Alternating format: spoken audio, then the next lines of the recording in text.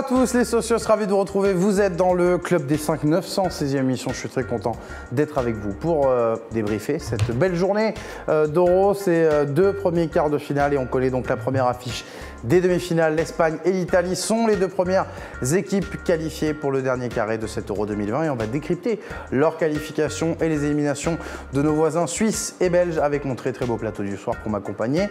Monsieur Samy Mochtali.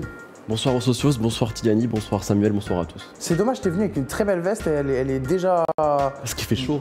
Oui, mais ça, c'est dans à la la tête base- ça. Oui, mais à la base, je partais avec veste et puis euh, je me suis dit que non. que tu voulais pas passer un enfer pendant une heure et demie à suer et, et à regretter d'avoir porté ta veste. C'est exactement ça. Voilà. C'est exactement ça. Si Yanimbo avec nous, tu vas, tu, tu, tu vas pas regretter la chemise en jean, toi, c'est bon Pas du tout. Mais j'ai déjà expérimenté, c'est pour ça euh, je viens déjà euh, en connaissance de cause. Et c'est vrai que la veste, pour le coup, euh, j'ai l'habitude de la porter, mais quand je viens sur le plateau du Club des 5, je sais que l'atmosphère peut être lourde, peut être euh, électrique, donc euh, je la troque pour une chemise. Effectivement, Bonsoir vivement, à tous et bonsoir à tous. vivement l'hiver quand même hein, sur le plateau du Club des 5 parce que je pense qu'il fera un peu, un peu plus. euh, Ouais. un temps un peu plus tolérable. Alors qu'à la base, on nous avait dit qu'il allait faire frais, qu'on allait... Mm. en cas de Je sais pas qui a dit ça, mais il a dit des On bonnes conneries. hein. je, je sais pas qui est ce monsieur, mais encore une personne, encore une personne à qui il faut pas faire confiance, à mon avis. euh, Ça y est, moi. Euh, les socios, ravis d'être avec vous ce soir. euh, je vois qu'il y a déjà du monde qui est avec nous sur le chat. On va bien sûr euh, débriefer euh, les deux matchs du soir. On a beaucoup de choses à dire avec la qualification de nos amis euh, italiens et espagnols, l'élimination de nos, de voisins, de nos amis euh, suisses et belges. On va en parler également. Je sais qu'il y a une grosse communauté, notamment euh, suisse et belge. Donc ce soir, on, vous attend nombreux pour revenir sur les éliminations des deux équipes et pouvoir faire le décryptage complet de cet euro. Je vais vous présenter le sommaire dans un instant. Juste avant, je vous rappelle les socios, vous le savez, hein, dès que vous débarquez sur le live du Club des 5, il y a des impératifs, entre guillemets, à ne pas oublier. Le petit pouce bleu, le petit like, bien sûr, qui fait toujours du bien à la team Le Club des 5. Continuez de vous abonner, 101 000 abonnés pour la chaîne Le Club des 5. Faut que ça monte, faut que ça monte, faut que ça monte. Encore d'ici la fin de l'euro, là, faut qu'on passe quelques paliers, euh, pourquoi pas les 110 un peu ambitieux, mais on ne sait jamais. Faut être Euh, il faut être ambitieux, exactement. On en manque un petit peu parfois dans, dans- dans ce pays. Euh, et Être ambitieux y ne- compris en huitième de ne finale. signifie pas être prétentieux. Tout à fait, c'est bien de le rappeler. Et euh, sans prétention aucune, je vous invite également à vous abonner à tous les réseaux sociaux du Club des 5, bien sûr, Twitter, Facebook et Instagram pour ne rien louper de toutes les actualités du, du Club des 5. Je pense notamment ceux qui l'ont pas encore vu, je le conseille, les socios, la petite vidéo COP CD5, le retour du COP CD5 qui dit retour du public dans les stades, dit le retour de Vakar euh, en mode baroudeur, hein, très jeune ce mot, euh, qui, va, qui, qui- qui- défile dans, toute l'Europe, qui euh, déambule plutôt dans toute l'Europe pour vous montrer les, ambiances dans les meilleurs stades. Et puis là, on a, un, on a un beau numéro qui est sorti hier avec toutes les ambiances des matchs des Bleus à l'Euro, donc c'est plutôt sympa.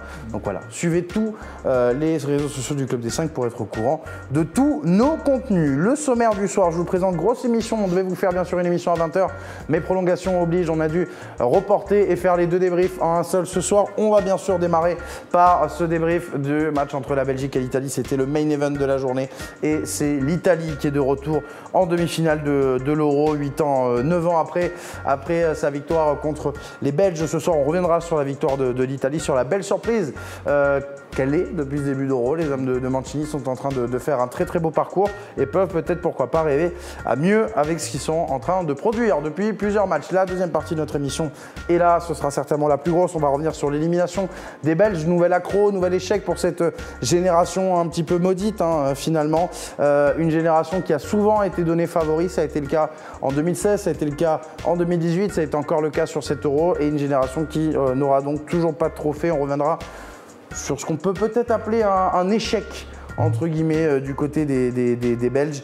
En tout cas, et Samy, tu viens de me montrer, la fédération italienne s'en amusait sur les réseaux sociaux, puisque les Belges avaient mis ce matin Veni Vidi, et les Italiens ont complété. Vici. Oui, c'est beau. C'est bah, utiliser, euh, utiliser une référence italienne, forcément, euh, ça se retourne contre nos donner le bâton pour se faire battre. Exactement. C'était piégeux, c'était piégeux. Exactement, tout à fait. La, troisi- la troisième partie de notre émission, les deux dernières parties, elles seront consacrées bien sûr à l'autre match de la journée, la qualification de l'Espagne.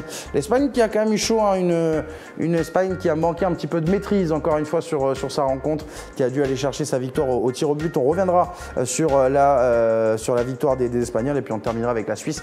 La Suisse qui a éliminé les Bleus lundi et qui s'arrête déjà en quart de finale, malgré quand même une grosse prestation aujourd'hui. Sommer, cette mm. fois-ci, n'aura pas réussi à sauver les, Suisses sur la séance de tir au but, mais on a encore vu une belle prestation des, des Suisses qui ont tenu tête là aussi à un champion du monde, cette fois-ci l'Espagne, un bel euro qu'on va décrypter bien sûr dans le club des 5, parce que je vous rappelle lundi, euh, certains nous l'avaient reproché, on n'avait pas eu le temps de parler des Suisses. Bah, faut nous comprendre, la France championne du monde était éliminée, donc il fallait faire une autopsie assez complète. Là, on aura le temps ce soir de revenir sur le très bel euro des Suisses. Les socios avant de démarrer l'émission, euh, donc le petit pouce bleu pour ceux qui nous ont rejoints entre temps. Juste, je vous demande sincèrement euh, un bel esprit sur le chat. Voilà, il y en a qui ont peut-être pas apprécié de se faire chambrer depuis trois jours, notamment par nos amis suisses ou nos amis belges. Même si, selon vous, ce serait rendre l'appareil ce soir, je vous demande d'être un peu plus intelligent, de vous permettre de passer un beau débrief sur le chat, de commenter, de parler foot. Tout le reste après les petites guéguerres d'enfants de maternelle allez faire ça ailleurs. Il y a Twitter qui est fait pour ça. C'est le terrain de jeu de, ce genre de, pratique. Mais pour le reste, s'il vous plaît, on me demande même sur le chat, il y en a qui me demandent de balancer des pics sur les Suisses et les Belges. Ce ne sera pas mon cas ce soir. Moi, je leur souhaitais beaucoup de bonheur à nos voisins. On te connaît, tu vas jouer la, carte de, la fraternité. Exactement. Et, pourtant, je suis quand même quelqu'un d'assez euh, impulsif et, taquin. Mais euh, pour le mm. coup, euh, voilà, encore une fois. et en plus, c'est vrai, tu, faut pas... tu, ne mens pas. Tu... Non, oui, oui, non. mais tu sais comment on va se réunir tous ensemble, Suisse, Belge, Français? Contre l'Italie. Non, on va ah, se oui, bah ça, pour toi, oui, forcément, on avait, on avait compris. Mais se dire qu'il n'y a plus de représentants de la francophonie Exactement. dans l'euro. Exactement. Plus si, il y a Émeric Laporte. Il y a Émeric Laporte. Mm. C'est vrai que le dernier représentant de la francophonie à l'Euro, c'est Émeric, euh, mm. Laporte. Mais oui, effectivement, euh, plus, de, plus de nations, euh, plus de nations francophones à, l'Euro, c'est bien dommage. Allez, on non, la question du soir. Oh là là, mon Dieu, j'en oublie les bonnes habitudes. La question du soir avant de démarrer.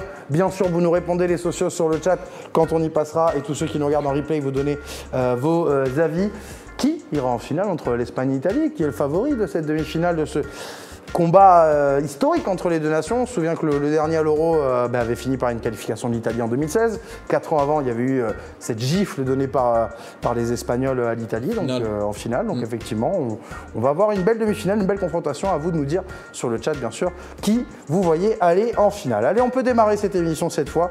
Pas de faux départ avec donc ce match entre la Belgique et l'Italie à 1, ça, euh, ça a été assez, euh, assez animé comme, euh, comme match. On ne va pas se plaindre, on a passé un, plutôt un bon moment, notamment en première mi-temps devant notre télé. Ouverture du score de, Barella, hein, bien sûr. L'Italie avait déjà marqué par Bonucci, but annulé. Barella finit par concrétiser la domination italienne en première mi-temps. Insigné qui juste après, juste avant la mi-temps plutôt, pardon, nous offre un, un rush magnifique solitaire pour euh, conclure avec une frappe exceptionnelle. À ce moment-là, on se dit que l'Italie a fait le break, que le match est plié. Mais Doku arrive à obtenir un penalty transformé par Romelu Lukaku. Deuxième mi-temps qui ressemblait donc Tiziani ben, à, une épreuve pour les deux équipes, celle de devoir remonter le, but fatidique pour, pour la Belgique et pour l'Italie de conserver son score. C'est l'Italie qui a fini par, par l'emporter, par réussir à conserver ce score. Euh, on peut dire succès mérité sur ce match pour l'Italie parce qu'on va parler de maîtrise, notamment tout à l'heure avec l'Espagne. L'équipe qui nous a semblé le mieux maîtriser son match ce soir, c'est l'Italie et, largement. Oui, on a eu une rencontre très ouverte dès le départ et c'était pas pour nous déplaire en tant que spectateur neutre. C'est-à-dire que très vite, on en a eu euh, des espaces, euh, une, sorte de match un peu ping-pong, comme on a pour habitude de dire, avec des occasions des, deux côtés. Mais en termes de, de, maîtrise collective, on a très très vite vu quand même que l'Italie euh, s'attachait à être l'équipe dominante, celle qui évoluait dans, dans le corps adverse, celle qui dictait aussi le, le rythme du jeu et indirectement la physionomie de, de, cette rencontre, donc avec donc euh, une équipe de Belgique qui elle était contrainte d'être un petit peu plus dans la réaction euh, et euh, mise euh, rapidement dans les cordes défensivement. Ça a été le cas notamment sur les, sur les deux buts avec la récupération haute des, des, Italiens, ce pressing exercé très haut comme depuis le début de, de la compétition qui leur a permis ensuite de se projeter très rapidement et ensuite avec la qualité individuelle de Barrella dans un premier temps et d'Insigné dans un deuxième, bah, de transformer ces situations en, en but et derrière très très bonne gestion euh, sur la deuxième période, grâce notamment à une qualité technique, à, beaucoup de calme, parce que la Belgique a quand même haussé un petit peu le ton, mais euh, n'a pas été en mesure vraiment de, déborder cette formation italienne qui a pu s'offrir voilà, ces plages de respiration. Et euh, malgré, allez, on va dire quoi, une dizaine, une quinzaine de minutes tout au plus en fin de match avec un peu un, un hurrah football des Belges qui ont attaqué de manière assez désordonnée avec des initiatives individuelles de Doku et un Lukaku qui était plutôt en, autarcie du reste de l'équipe. Finalement, je pense qu'il n'y a pas eu vraiment de, de grande frayeur côté italien et c'est une victoire somme toute assez logique. Euh, match intéressant vraiment des, des Italiens, Samy, encore une fois, comme je disais, dans, la maîtrise. On rappelle que c'est euh, une équipe dont, si je ne dis pas de bêtises, je crois que 95% euh, de l'effectif n'a jamais disputé de phase finale internationale. Et pourtant, on a senti ce soir une certaine sérénité dans leur rencontre, dans leur manière de gérer aussi la, la Belgique. Oui, il y a eu le petit Doku qui a essayé de mettre un petit peu le feu en fin de match, d'éliminer dans, du 1 contre 1, essayer de provoquer un petit peu. Mais globalement, cette équipe, que ce soit devant ou derrière, elle a été plutôt solide et plutôt efficace dans, les deux surfaces, même si on pourra revenir sur le, match d'immobilier à, un moment. C'est ce que j'allais dire, ouais. Donc oui, oui, oui, c'est vrai que c'est, pour moi c'était un vrai test. On, on l'avait déjà évoqué durant le premier tour et même après le premier huitième de finale face à l'Autriche. Moi, j'avais hâte de voir justement cette équipe d'Italie face à ce qu'on pourrait appeler un, gros morceau, ou en tout cas face à une attaque quand même réputée avec de, de grands face joueurs. À une, face à une équipe, on en parlera après nos amis belges, qui est considérée derrière la France comme le favori derrière la euh, France, ah l'un des favoris. On, en avait, déjà parlé, euh, j'étais là, pour le débrief du Portugal. Oui, bien sûr que les Belges, la Belgique était, était un des favoris, on va dire dans le top 3 des favoris pour cet euro. Euh, tu avais un attaquant en pleine bourre. En... Top 3 qui est déjà sorti d'ailleurs. Hein. Voilà, ils sont tous à la maison. Ça, après, c'est la vie, on n'est pas tous bons pronostiqueurs. Mais ils avaient quand même aussi euh, en leur sein un, attaquant comme Lukaku qui avait quand même une confiance assez importante euh, après un premier tour euh, de qualité. Donc voilà, il y avait pour moi une vraie opposition et, c'est là où c'était vraiment intéressant à observer. Et, clairement, tu l'as très bien dit, Tidiane, c'est vrai qu'on a vu une équipe italienne qui a plutôt bien maîtrisé son sujet. dans l'ensemble, c'est quand même assez consistant, assez costaud. Il y a eu peu euh, de moments euh, de peur, de moments dangereux, tu l'as dit dans les 10-15 dernières minutes. Le but belge intervient même pour moi, euh, voilà, c'est un petit peu à contresens, puisque l'Italie était tota-, totalement maître de son, de son sujet. Les Belges ont eu cette occasion en fin de, de, première mi-temps un peu contre le, contre le cours du jeu. Donc vraiment, tu sentais que. Moi, je les ai jamais vraiment sentis en danger. tu, as parlé de la maladresse d'immobilier, je pense qu'on reviendra dessus plus tard. Euh, malgré cela, ils ont quand même réussi euh, à garder cet avantage. Je pense qu'avec un, attaquant peut-être un peu plus, euh, un peu plus décisif, un peu plus, un peu plus concentré sur la finition, ou même parfois même, c'est pas que sur la finition qu'il a pêché. Je pense que même dans, dans l'orientation du jeu, parfois dans la surface, il aurait pu peut-être jouer des 1-2 ou jouer en première intention avec, avec des partenaires. Ça aurait peut-être pu débloquer un peu plus la, situation pour les Italiens. Donc malgré un attaquant central déficient, pour ainsi dire, eh bien, on a quand même eu euh, une Italie quand même qui a maîtrisé cette partie euh, de bout en bout. Et je pense que euh, le milieu, surtout le milieu italien, a beaucoup profité de sa supériorité. Je pense que là aussi, je pense qu'on va revenir dessus. En, Verratti et Barella, je pense que on peut, effectivement parler des secteurs ce soir. Ouais, le comment dire le le double pivot euh, Witzel, euh, a beaucoup souffert, ce soir et on l'a vu d'ailleurs sur le, deuxième but. Une fois, que, ce premier rideau était passé, la défense belge était quand même assez, euh, aux abois avec un Vermeulen quasi asthmatique au bout de 15 minutes. Euh, voilà, voilà c'est vraiment pour moi, pour moi c'est un match maîtrisé et c'est un match, oui, c'est une victoire méritée. On peut parler de secteur, effectivement, quand on parle de, de grande Italie ce soir, de match maîtrisé, on, va faire, euh, on va y aller euh, par ordre. je, enfin, c'est bien. Je sais pas comment, je sais pas c'est quoi le terme. comment on dit, comment on dit quand on va de graduellement. Graduellement, voilà, on va le dire comme ça. Je sais pas si c'est le mot que je cherchais, mais ça va passer par ligne, me dit Antoine Le Breton. C'est vrai que j'aurais dû me simplifier la vie et aller tout de suite vers cette, cette option. Je suis sûr qu'il t'a dit de manière par ligne. Un peu, un, Petit peu un, petit peu genre, animateur, tu même pas parler, euh, casse-toi. Euh, bref, tout ça pour dire que l'Italie, euh, l'Italie, donc je le disais, c'est par secteur que ça a été impressionnant ce soir. Commençons par la défense parce que il y aura un match dans le match. On reviendra sur le match de Lukaku notamment, qui a loin et loin, enfin pas été ridicule ce soir, mais qui a été un, la version, la, version ficelée de Lukaku. Muselé. Même déjà un premier fini parce que quand on regarde cette équipe démarrer son tournoi et que effectivement on s'arrête sur le, la nature de cette charnière, on voit quand même que c'est vieillissant et même pour le cas de Bonucci, moi je trouve que c'est quand même un défenseur qui, par rapport à ses perfs en club, est sur le déclin depuis maintenant plusieurs mois, voire plusieurs années. Et donc, euh, quand on a vu cette Italie resplendissante face à des adversaires, on va dire de deuxième ou troisième chapeau, eh ben, l'interrogation c'était de se dire est-ce que face à une équipe plus chevronnée et mieux armée en attaque, euh, comment est-ce que cette équipe va défendre?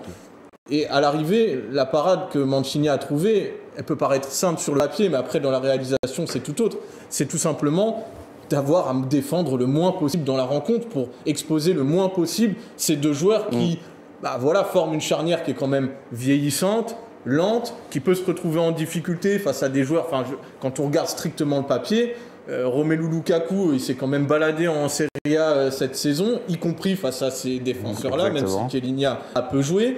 Euh, un profil comme Jérémy Doku, pouvait se dire que justement ça pouvait être complètement la hantise, voilà, avec toute la vivacité qu'il apporte, Et- le- le- le- le- la capacité Et ça s'est vérifié sur le terrain, c'est lui qui obtient le et Ça s'est vérifié, mais finalement la parade pour l'I- pour l'Italie, contrairement à, ce à la façon dont on va aborder les choses, c'était pas de faire les choses secteur par secteur, c'était vraiment de dégager une approche d'ensemble. Et cette approche d'ensemble, c'était déjà d'avoir la plupart du temps un bloc qui va être très haut, beaucoup plus haut que ce à quoi l'Italie nous a habitués traditionnellement, mais ça on en reparlera très certainement Ils plus étaient quand tard. même, dans- ils étaient quand même les- plus bas que sur ce début de compétition. Oui, ils parce ont, que ils ont t'avais quand même, ils ont quand une même équipe- évolué plus bas. euh, Mais moi, j'ai- noté par exemple, première attaque placée de la Belgique, je crois c'est 36e ou 37e minute. Mm. Donc ça veut dire que déjà, pendant euh, un laps de temps très important, le match, tu as décidé de le faire dans la partie de terrain adverse. Et donc, certes, les, deux, vieux, ils ont 50 mètres de terrain derrière, mais au milieu de terrain, tu as tellement de maîtrise technique, tu as tellement de complémentarité entre les joueurs que bah, si les autres, ils n'ont pas le ballon, bah, tu as beau avoir un bloc haut, en fait, tu vas pas être mis en danger. Et ça, finalement, je trouve qu'ils l'ont plutôt bien géré. Et ensuite, sur la fin de match, lorsque la Belgique a euh, développé un peu son, a déployé un petit peu euh, euh, ses dernières forces dans la bataille, et ben là, on a retrouvé une configuration dans laquelle ils savent évoluer, c'est-à-dire défendre avec un bloc beaucoup, pour le coup, quasiment dans les 16 mètres, avec euh, voilà, euh, couper les centres, être sur les trajectoires de, de passe et tenir 10-15 minutes dans ce schéma-là. Ils, sont encore capables de le faire à cet âge-là. Peut-être que s'ils avaient dû le faire sur la, sur la durée d'un match, ça aurait été beaucoup plus compliqué. Mais pour moi, on va dire que la, la parade que Mancini a pu trouver sur les lacunes défensives de ces joueurs-là, ça a été de collectivement euh, donner cette nature-là à cette équipe italienne. Euh, L'Italie, quelle équipe, nous dit Augustin. Mérité pour la squadra, nous dit Antoine. Euh, Robinson, qui est supporter belge, qui est belge, qui nous dit mérité pour l'Italie. Notre équipe a été, je le cite, dégueulasse ce soir.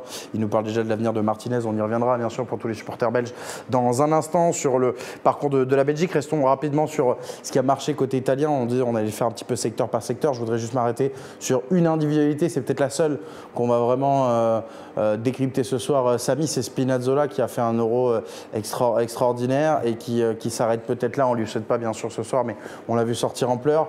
Euh, on attend bien sûr hein, des nouvelles hein, sur, sur sa blessure, sur son état physique. Euh, tendon d'Achille, on nous dit déjà, et ce serait estimé à plusieurs mois d'absence. Ah ouais, hein, tendon d'Achille, ouais, c'est- tendon d'Achille, c'est compliqué. Ouais.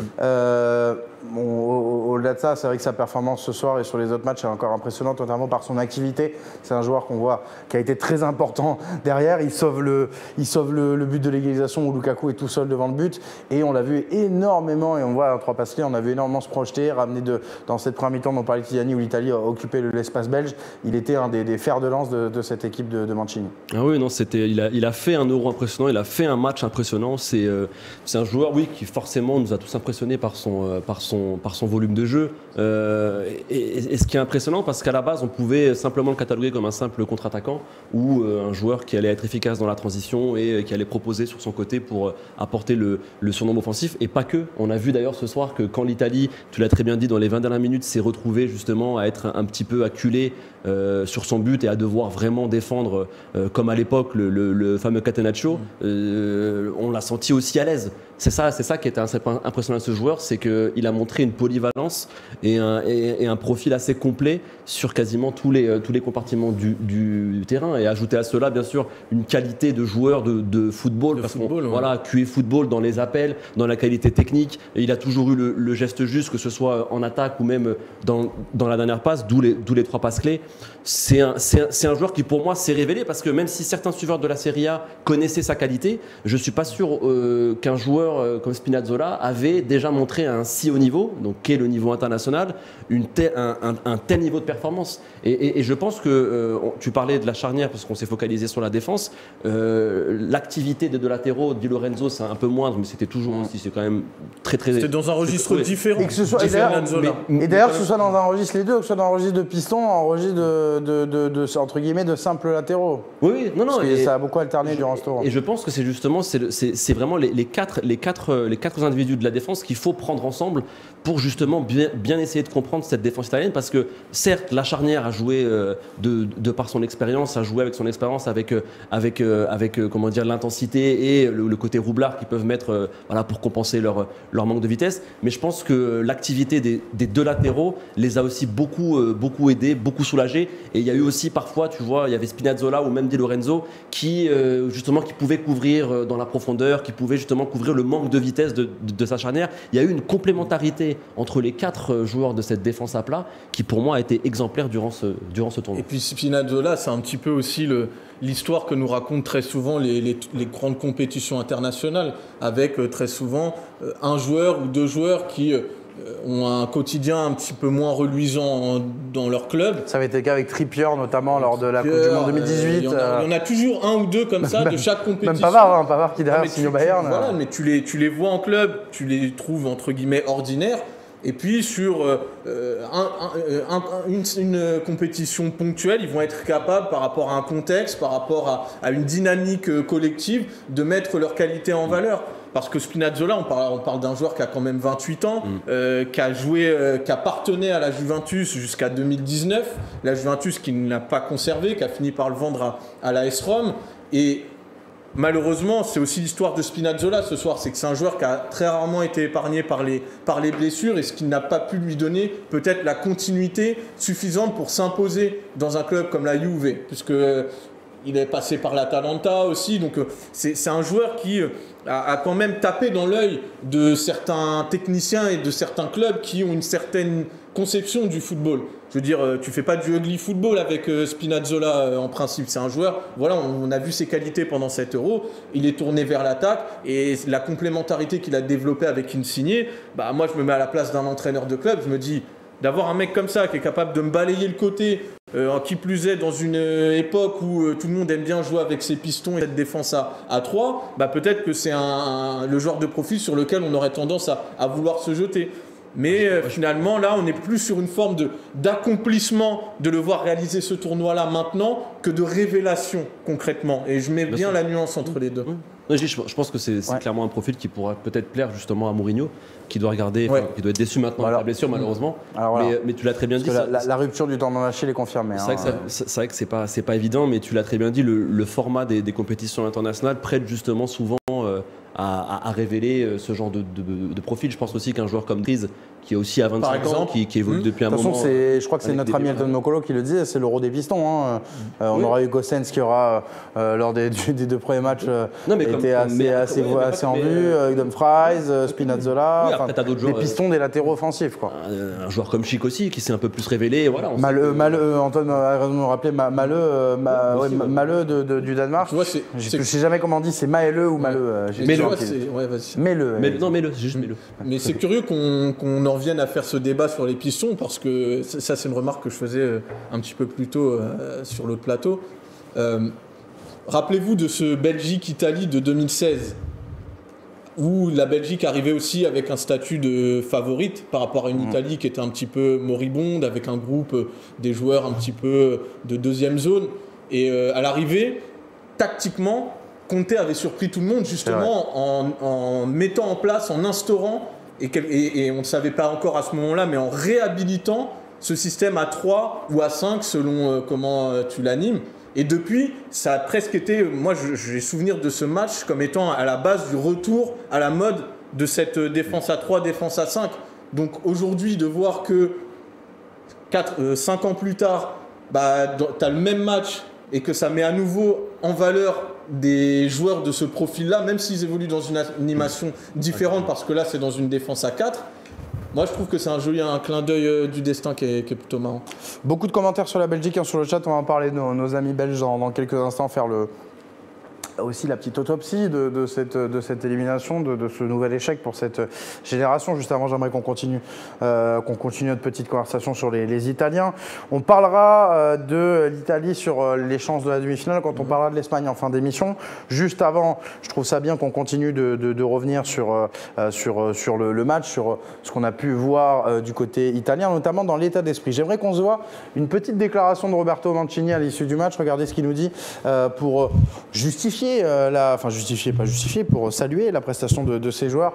Euh, voilà, il nous dit, on a mérité de gagner, les joueurs ont été extraordinaires, même si on a un peu souffert, c'était un match assez ouvert au début, on a souffert plutôt vers la fin quand ils ont poussé, mais c'est logique, avant on n'a jamais souffert. Bonsoir Walid Acharchour. Bonsoir Sam, bonsoir Tizani, bonsoir Samy, bonsoir à tous. Comment ça va? Ça va, super, on a vu un très bon match de football, ça peut que aller. Mancini qui dit que l'Italie n'a jamais souffert sur, euh, sur ce match. On a le sentiment que c'est ce qu'on a ressenti dans l'état d'esprit, notamment italien. On a vu c'est une équipe beaucoup plus sereine ce soir. On parlait de l'importance de la défense il y a quelques instants. On peut aussi l'illustrer avec le, le match de ce milieu de terrain. Là aussi, la sérénité, le, le côté impérial italien, c'est vu notamment dans, dans ce secteur-là. Ouais, après, il y a eu des moments où ils ont été en difficulté, mais après, avec. euh, Temps la- faibles normaux dans un match Bien comme sûr, celui-ci. On parle d'un quart de finale de l'Euro et c'est normal de concéder des occasions avec la qualité de. Voilà, quand on sait euh, ce que peut euh, faire De Bruyne dans cette zone de vérité, la même chose pour Lukaku. Tu sais qu'avec une équipe de, de, Belgique qui se repose énormément sur ses individualités, on l'a vu ce soir, euh, tu peux par à coup être en difficulté. Mais globalement, je trouve qu'ils ont très bien défendu.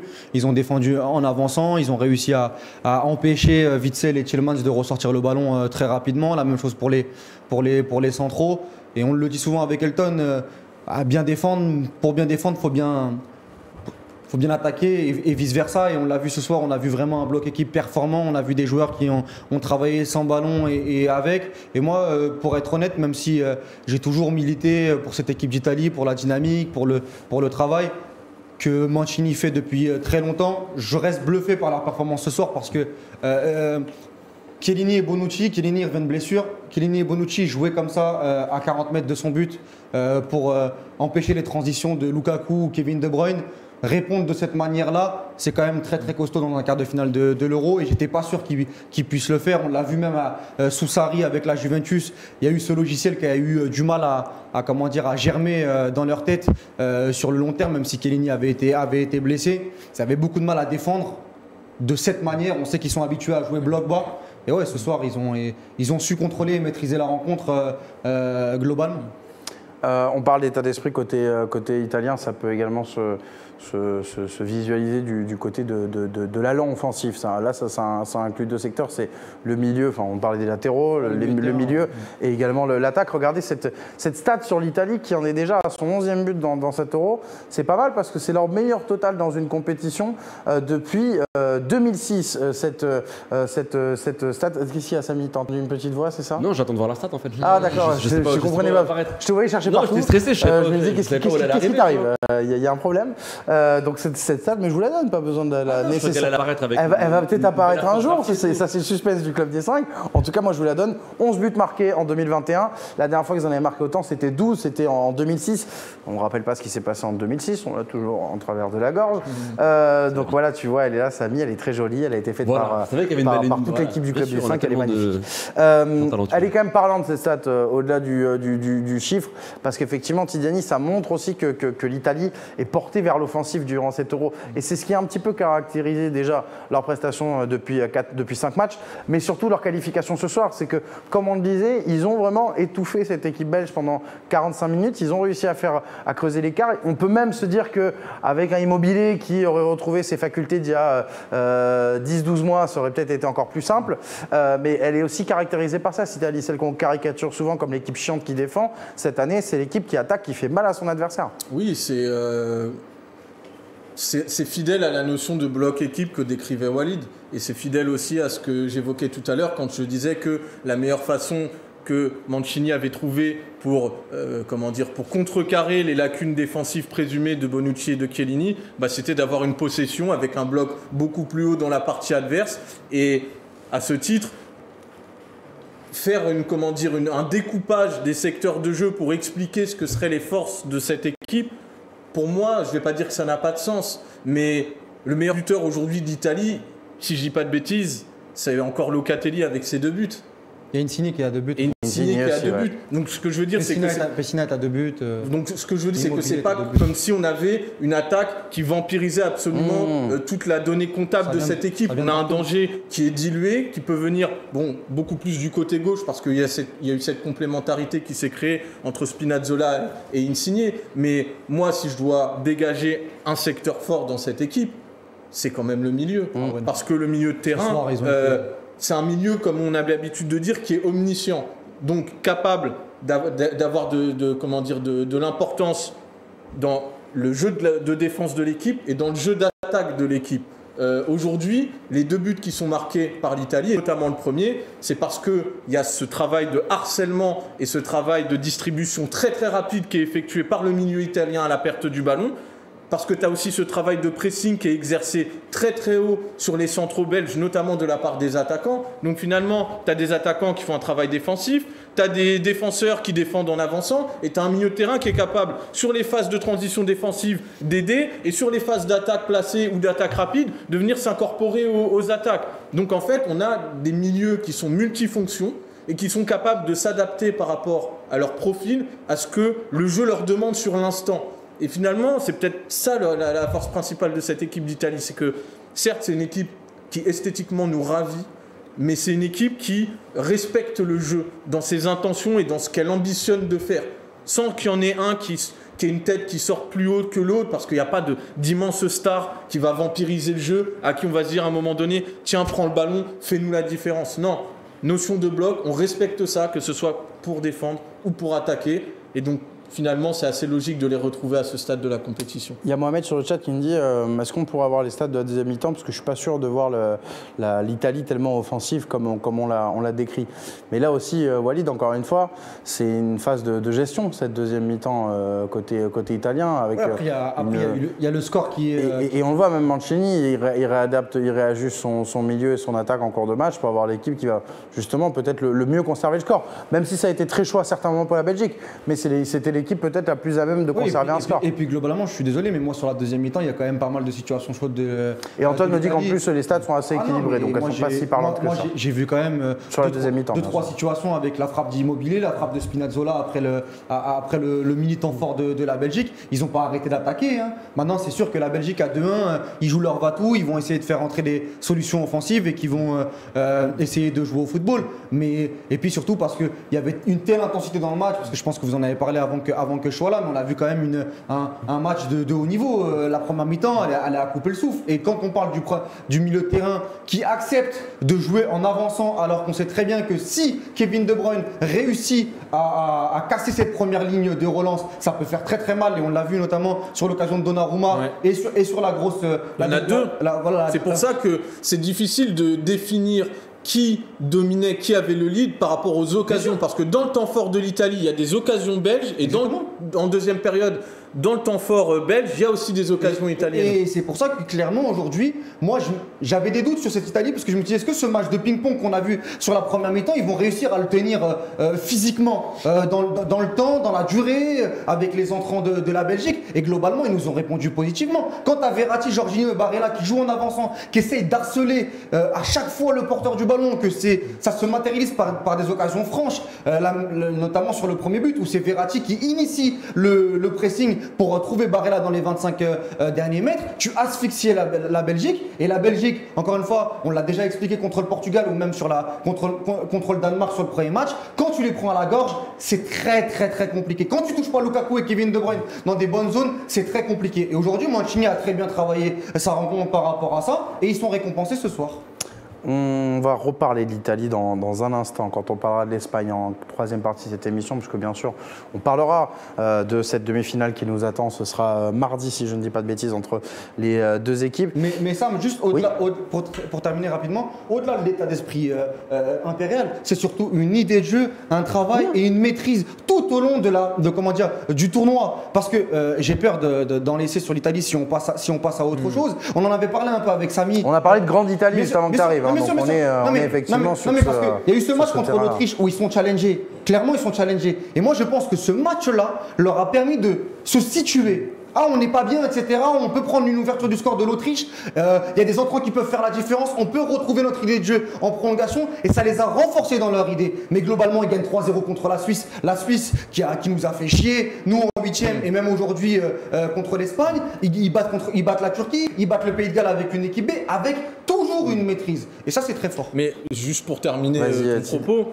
et c'est ce que je disais un petit peu plus tôt, c'est que du, quand on fait du coup le récit, en ayant en plus le match de ce soir en plus euh, comme point de référence, quand fait le récit de ces cinq matchs et de ce tournoi des, des Italiens, tu as eu une première phase où ils se sont rassurés par rapport à ce que devait être euh, leur nature, c'est-à-dire une équipe qui maintenant est une équipe qui attaque et qui euh, regarde plus devant elle que derrière et qui essaye d'avoir le, le contrôle du milieu et donc indirectement le contrôle du rythme de la partie. Ça se joue à notre rythme, pas au vôtre. Et ça, ils l'ont encore imposé d'ailleurs ce soir. Donc, tu as une première phase où ils sont rassurés sur leur nature. Ensuite, tu as eu le match contre l'Autriche où là, ils ont été challengés mentalement. Donc plus sur une là c'était plus vraiment une question de jeu parce que c'était peut-être le, le, match le moins abouti sur la qualité de jeu. Mais par contre mentalement il a fallu aller chercher dans cette prolongation un surplus pour aller arracher ta qualif. Et là ce soir tu avais encore un test d'une autre nature qui était le gros morceau. Le gros morceau maintenant est-ce que en ayant montré tes ressources dans le jeu tes ressources mentales, et ben là, examen. Tu as la Belgique en face, faut passer pour aller faire un tour dans le, dans le dernier carré. Et là, tu vois qu'ils maîtrisent leur sujet, allez, on va dire de A à Y euh, sur, euh, sur cette rencontre. Donc, mine de rien, c'est quand même des éléments qui, mis bout à bout les uns des autres, quand tu fais le récit, et bah, ça te fait quand même de l'Italie un, bah, un sacré candidat à la victoire finale à l'instant où on parle.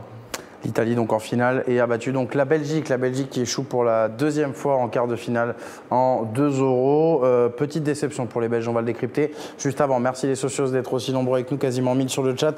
Un max de pouces bleus bien sûr pour aider la team Le Club des 5. Vous connaissez la chanson, abonnez-vous pour ceux qui nous découvrent, hein, c'est important. Euh, je vous rappelle sur le chat, c'est encore une demande une nouvelle fois s'il vous plaît parlons foot, soyons passionnés. Il y en a qui apprécient pas se faire chambrer le lundi, mais qui font la même chose le vendredi et vice versa. Donc arrêtez de nous gonfler, parlez de football, le reste, on s'en fout. Euh, on continue donc avec la Belgique. La Belgique euh, qui est éliminée une nouvelle fois, je le disais, en quart de finale, vaincue par plus fort une nouvelle fois. Les Belges, ça avait été le cas en 2016 avec le Pays de Galles, ça a été le cas réellement euh, en 2018 aussi avec la, France dans un autre style. Et ça a encore été le soir dans un autre style avec, avec l'Italie. C'est vrai que c'est une grosse déception, on va pas se mentir encore une fois de, de voir cette Belgique s'arrêter en quart de finale. Effectivement, on pourra parler toujours du calendrier qui était. Euh, euh, un piège pour euh, de finir premier pour au final se retrouver avec le Portugal et l'Italie juste derrière.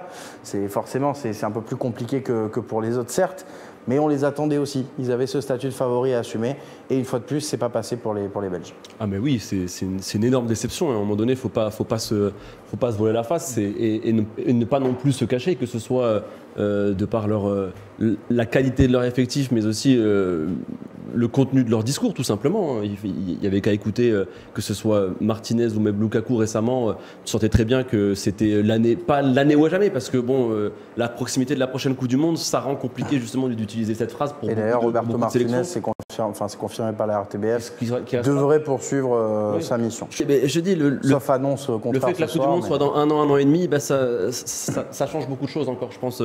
Euh, par rapport à ce sera le même bordel pour l'euro, parce que ce sera un an et demi après aussi. De euh, voilà. toute façon, c'est sûr que là, on est, on est parti pour, pour, pour, pour, pour du condensé. Mais oui, clairement, énorme déception. Et puis, et, et je pense que c'est légitime. Après, euh, sin sin sincèrement, on avait déjà vu face au Portugal euh, que la Belgique avait quand même changé sa façon de jouer et, et c'était un petit peu adapté à son, adversaire cette rencontre. Là, on attendait de voir si, voilà, si vraiment ils allaient assumer ce statut de, première nation euh, au classement FIFA. Et sincèrement, on, ne peut qu'être déçu par le contenu des Belges ce soir.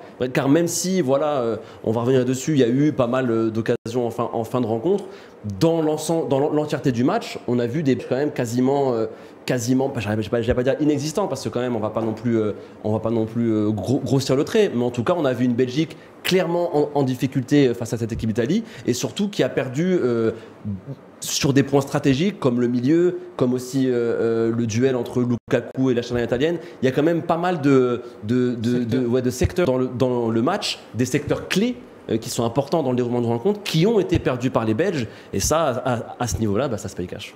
On revoit, Walid, euh, ce qu'on avait pu critiquer à la Coupe du Monde et qui s'est accentué euh, depuis trois ans par le fait que les joueurs qui étaient déjà en difficulté lors du Mondial 2018 le sont peut-être encore plus aujourd'hui. Ceux qui étaient, euh, qui étaient en train de s'effacer gentiment aujourd'hui se sont complètement effacés, notamment en club. On a quand même le sentiment que cette génération, on me le disait il y a quelques instants sur le chat, on me disait elle s'est reniée dans son style de jeu au-delà du fait qu'elle soit reniée dans son style de jeu, on a l'impression qu'il n'y a pas forcément toutes les qualités pour pouvoir avoir une équipe compétitive sur toute une compétition, une équipe en tout cas qui roule sur les autres. Il y a trop de, de, de défaillances dans certains secteurs dans, dans cette équipe. Ouais, mais au-delà de la défaillance, moi je trouve que ce soir, si on doit euh, uniquement parler du débrief de match, euh, ils sont battus à la régulière et à la loyale, mm. euh, sans aucune contestation. Euh, ils pouvaient contester peut-être contre le Pays de Galles en 2016, contre l'Argentine en 2014, contre, contre la France en 2018. Ils pouvaient. Je dis ils pouvaient. Ce soir, sincèrement, s'il y a des Belges qui viennent et qui nous expliquent que ce soir, la victoire et la qualification de l'Italie, elle n'est pas méritée. Alors je vais te dire, ils match. viennent pas beaucoup, nos, je Non, les embrasse, nos amis belges, mais avec- autant il y en avait beaucoup lundi soir, autant ce Ah, soir. avec- C'est dommage parce que nous on n'est pas là pour chambrer. On n'est pas là pour chambrer, on est là pour, pour décrypter. C'est en- dommage. En, en plus, tu es, bien placé pour le savoir, avec toute l'affection que j'ai pour les joueurs belges et pour cette équipe de, de Belgique, ce soir, il n'y a rien à dire. Mais vraiment, c'est-à-dire que euh, globalement, si on doit prendre l'euro, on va pas débriefer tout l'euro match par match, mais tu t'es fait bousculer par le Danemark, tu t'es fait bousculer par le Portugal. Ces deux matchs-là, malgré les bousculades, tu t'en es sorti grâce à des coups du sort, grâce à une capacité à être clinique et efficace. En deuxième mi-temps contre le Danemark avec la rentrée de De Bruyne et la rentrée d'Hazard, et contre le Portugal avec ce but de, de Hazard, et derrière une faculté à bien défendre face à une équipe qui, on le disait déjà, le Portugal, qui ne sait pas jouer au football face à un bloc bas.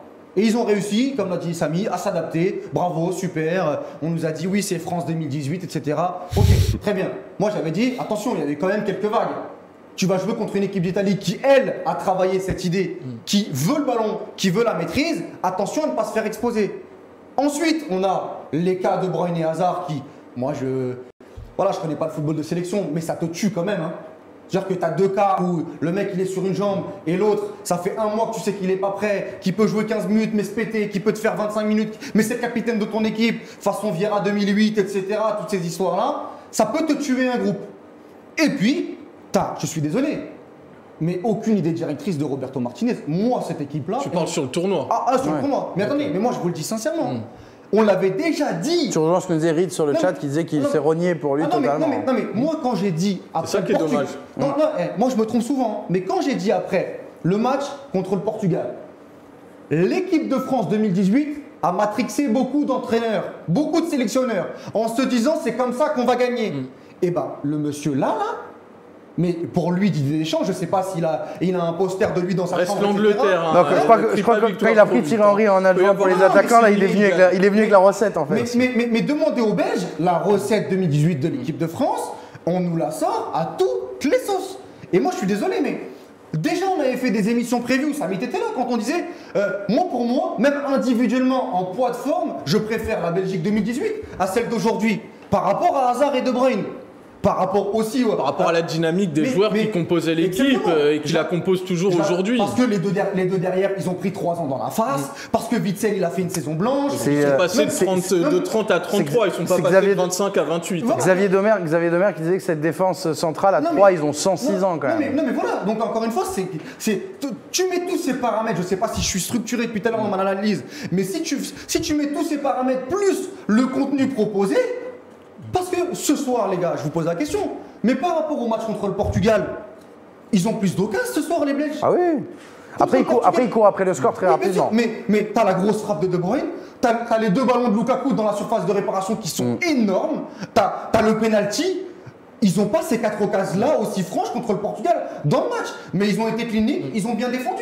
C'est-à-dire que dans le contenu, par rapport à ce qu'on a vu contre le Danemark et contre le Portugal, on a, ils n'ont pas, ils ont pas à rougir de leur performance, sauf qu'ils sont tombés face à une équipe qui était beaucoup plus forte et un coach qui a maîtrisé sa rencontre de A à Y, comme le disait Tidiane. Et dans ces compétitions-là, oh T'es hors sujet, tu prends la porte, mon ami. T'es hors sujet une fois, tu peux te sauver. Deux fois, tu peux te sauver. Troisième fois, c'est tu rentres à Bruxelles. Non, mais c'est intéressant de, voir en fait qu'est-ce que peut nous dire ce fameux bloc de deux, de, de deux ou trois matchs qui comprennent donc le Portugal en huitième et le match euh, notamment du Danemark. Je mets de côté un peu celui de, de, de la Finlande Ouais. parce qu'il est d'une nature un peu particulière. Mais si tu prends ce double bloc, enfin ce bloc de deux matchs, en fait, tu ressors de ces, de ces 180 minutes avec une question principale, c'est de te dire, est-ce que c'est une approche circonstancielle de Martinez par rapport, comme le dit Walid, à un style de jeu, par l'idée d'être beaucoup plus minimaliste dans ton approche et cynique indirectement en te disant, bah, le Portugal a gagné comme ça, la France a gagné comme ça, nous, très souvent, on s'est retrouvés avec les dindons de la farce à vouloir faire du beau jeu, à ouvrir, à être chatoyant, et derrière, bah, on, se- on se faisait casser les dents en quart ou en demi. Donc nous aussi, on va, on va vouloir être cynique. Donc il y avait cette hypothèse-là en premier, mais il y avait quand même l'autre hypothèse qu'on se, se refusait de- de- de- d'envisager, mais qui à l'arrivée me semble peut-être aussi plausible, c'est de te dire que tout simplement, rien que d'un point de vue de la préparation athlétique, de la, cour- de la dynamique des joueurs individuellement parlant, bah peut-être que tu es tout simplement sur une équipe qui est en dessous de ce qu'elle était capable de produire il y a encore quelques mois, ou même en qualif. Alors, cher, on va me dire, oui, les adversaires, ils sont moins forts, etc. Mais ils faisaient des campagnes de qualif à 40 buts, 45 buts marqués quasiment. euh, euh, en Toujours des- première nation FIFA, 10 c'est pas pour 10. rien. Euh, c'est quand même, même si c'est des sparring partners en face, et encore, tu as toujours un ou deux adversaires un peu coriaces à aller faire en déplacement, euh, je veux dire, dans ce que l'équipe produisait et dans l'identité qui était visible, moi, j'ai- pas reconnu cette équipe-là euh, euh, pendant, pendant la compétition. Et j'ai espéré à un moment donné de me dire que bah, peut-être que, athlétiquement parlant, ils allaient, à partir des tours à élimination directe, prendre une dimension supplémentaire et, euh, et qu'ils étaient qu'ils avaient calé leur préparation là-dessus où je me suis dit peut-être qu'avec euh, des adversaires d'une nature différente et ben ils vont pouvoir donner le change différemment et, euh, et- et Mais cette fois-ci un jouer leur, y a leur jeu match de la Belgique qui est sur cette et, et ce- et ce moment-là n'est jamais arrivé Vous avez, vous avez un gros match Non, non. Le Il y a plus, eu des gros rendez-vous, le plus, il n'y a pas eu des gros matchs. le plus maîtrisé, c'est la Russie. C'est le mais- premier. Il y, a- Sonic sur le chat qui nous dit c'est euh, réellement une évolution cynique du jeu belge hein, qui est calculée et anticipée pour lui, qui, veut, qui, qui se Non, veut être pragmatique pour, comme on l'a dit, peut-être essayer de, de- de- enfin de ramener quelque chose. Oui, effectivement, du Non, coup, mais- avec cette volonté-là, Aujourd'hui, sincèrement, moi je, je, je vois pas de grosses rencontres. On avait dit après la Russie, ouais, belle entrée en matière, euh, ils vont au Zénith, eh, ils vont au Zénith, ils vont à Saint-Pétersbourg, ils jouent, ils jouent la Russie chez elle, sans De Bruyne, sans hasard, ok, c'est une belle entrée. Ils ont joué 20 minutes, il y avait 2-0, super, ok. Contre le Danemark, ah, hasard, Witzel et, et De Bruyne. Je parle de mes analyses, hein, euh, parce qu'on voilà, on, on avance dans un tournoi, euh, ils se sont fait bouger, mais ils ont gagné, ils sont à 6 points en deux matchs, c'est super, etc. La Finlande, ils ont réussi à trouver la solution, euh, ils sont fait 9 sur 9, super, etc. Mais euh, c'était timide après un mi-temps et tout. Doku, c'est intéressant et tout, etc. D'accord, ok, très bien. Le huitième contre le Portugal, ils ont gagné la rencontre, ok, le Portugal a, a proposé un peu plus, mais ils ont su rester solides et cliniques, ok. Et ce soir, euh, mais on n'a pas dérogé, on n'a pas dérogé à la règle. C'est puis- plafond de verre et puis ce soir. et puis individuellement, moi je suis désolé, mais ce soir, c'est quand même un terrible désaveu. Vermeulen qui a fait un bon match contre le Portugal, il est remis au poste de défenseur central. Vermeulen qui a 35 ans, qui joue au Japon. C'est un terrible désaveu pour Jason Denayer. C'est un terrible désaveu pour Boyata qui avait joué les deux premiers matchs contre le Danemark et contre la Russie. Qui avait pas été Doku, mauvais. Jérémy Doku, qui est l'un des joueurs les plus intéressants et, le- et les, et les plus dangereux ce soir avec Kevin De Bruyne, il est préféré. C'est Non, hein, pour non, moi, mais ce il soir, est pré-. Bien sûr, il est préféré. Ça a duré à- mi-temps. à- il est préféré à Dries Mertens et il est préféré à Carrasco, champion d'Espagne et, euh, et- et titulaire indiscutable avec, euh, avec le Napoli. et en début de compétition, Hazard était pourquoi blessé. mais pourquoi Mais pourquoi Parce que ces deux joueurs-là n'ont pas été bons sur les trois matchs, euh, sur les, sur les trois matchs de, de poule. Mm. De poule, ouais. Ensuite, tu, tu, tu, tu réenchéris avec euh, Witzel. Witzel qui ce soir a été mais complètement transparent. Ah bah, il était mais dans je veux- l'eau. Mais je veux pas lui en vouloir à Witzel. Tu sais, il a fait Il revient de blessure. Il revient de blessure. Il a fait deux matchs avec Bah oui, il revient de blessure. Deux matchs. Mais les statuts, Dendonker, il n'a pas été bon euh, euh, sur les sur Après, les deux quand, premiers quand, matchs. quand, quand Witzel n'était pas là au premier match, on disait qu'il manquait. Exactement. Donc, euh, mais, ils m'ont- mais, mais- mais finalement, t'es rattrapé par la profondeur de banc, par la dynamique de tes joueurs majeurs euh, en, deux- en 2018, et encore une fois, par le fait que par rapport à ce que propose l'adversaire, l'entraîneur n'a pas réussi à trouver la solution. Parce que Une- tu Ouais, parles de- tu Sylvanie, parles de après une réaction, Thibaut, 2018, pour toi. Tu parles de, dix- de 2018, mais c'est un point de référence important parce qu'à ce moment-là, la Belgique euh, figure parmi les peut-être les deux ou trois meilleures nations mondiales, avec une marge quand même de, de, de- de croissance, de progression qui est, qui est- qui est- qui est concrète. hein. On se dit, cette équipe, elle joue bien, mais elle peut devenir encore plus forte en devenant peut-être un petit peu plus méchante, un petit peu plus cynique et euh, euh, sans devenir la caricature en fait de ce qu'elle est devenue pendant ce tournoi. Et, et- parallèlement, à la même époque, bah, l'Italie qui n'était pas là. Et c'est, alors c'est facile à dire aujourd'hui, mais un, un match, une confrontation directe comme ça entre deux nations de cette dimension-là, c'est toujours le, la la- le match, c'est toujours la photographie de l'instant T Mm. qui te dit ce que tu as réussi à bien préparer Depuis et à ce que tu as réussi à mettre en perspective sur, euh, sur une, une certaine durée. Et de voir comment l'Italie en trois ans a su se réinventer, a su s'appuyer sur une philosophie qui est une nouvelle philosophie, et d'un autre côté la Belgique qui finalement a même pas stagné, mais on peut le dire maintenant, a régressé sans être capable de créer, euh, on va dire, cet effet de synergie. Parce que moi, j'ai pas de mal avec le fait que on prenne individuellement la défense belge et qu'on dise elle est moins bonne que l'Italie. Qu'on prenne individuellement le milieu belge et qu'on dise c'est moins bon que l'Italie. Et qu'on fasse pareil pour l'attaque. Mais on a plein d'exemples, chacun à notre niveau, dans, dans l'histoire du foot. hein. Oui, mais bon, ouais, on peut pinailler, mais on va dire que si tu raisonnes comme ça, c'est pas flag. Hmm.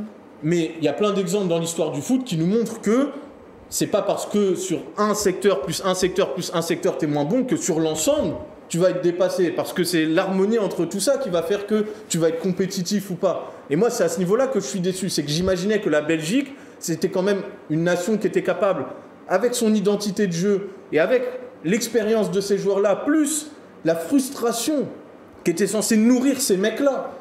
On en a entendu parler depuis la Coupe du Monde. Ah, mais à l'Euro, vous allez voir, on a faim, on nous la refera pas, etc. Donc moi, je me suis dit, au moment d'aborder cet Euro, ces mecs-là, ils vont être habités Ouais, par, par quelque Ah, chose on ne Bah, on- on, disait pas. dimanche dernier sur ce plateau, on disait, on- entre guillemets, on aurait préféré que le Portugal Mm. passe, parce que si la France, à l'époque on était encore ambitieux, jeune et ambitieux, parfois vicieux, on disait, euh, si la France passe, on ne veut surtout pas jouer les Belges, parce qu'ils vont vraiment nous jouer avec le couteau entre les dents, et on parle d'état d'esprit, ça se jouera aussi peut-être cette rencontre là-dessus. J'aimerais juste qu'on voit la réaction de Thibaut Courtois, euh, parce qu'effectivement, sa dernière réaction lors d'une élimination avait fait beaucoup parler, ça a même créé, on va dire, une tension entre deux pays. Euh, là, cette fois-ci, il est beaucoup plus mesuré. Thibaut Courtois, il nous dit on savait que les Italiens étaient très forts. Donnarumma fait un très euh, grand arrêt en début de match sur un tir de De Bruyne. Cela se joue à des détails, mais globalement, nous n'avons pas fait assez. L'objectif était d'avoir la possession au milieu de terrain et de leur faire mal sur les ailes. Nous n'y sommes pas parvenus. Samy, j'aimerais qu'on réagisse C'est ouf, la notamment. dernière phrase. hein. De quoi? C'est ouf de sincérité. Ah oui, oui, non, même, même, même toute, toute la déclat, je trouve. On est vraiment là, pareil, si on prend la déclat euh, 2018-2021, on est sur deux styles différents, euh, quand même, de, de, de- de déclaration. Mais effectivement, ce soir, ça semble un peu plus euh, logique pour, pour les Belges.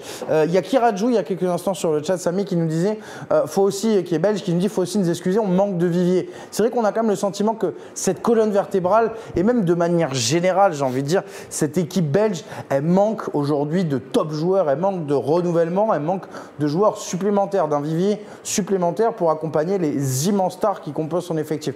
Est-ce qu'elle n'est pas en train de se prendre aussi ça dans la tronche, la Belgique, au fur et à mesure du temps? C'est qu'il lui manque parce qu'on peut dire, euh, tu as 2-3 stars et tu construis une équipe autour. Mais on peut se poser la question, est-ce que la Belgique a les capacités de construire une équipe autour de ces grandes stars?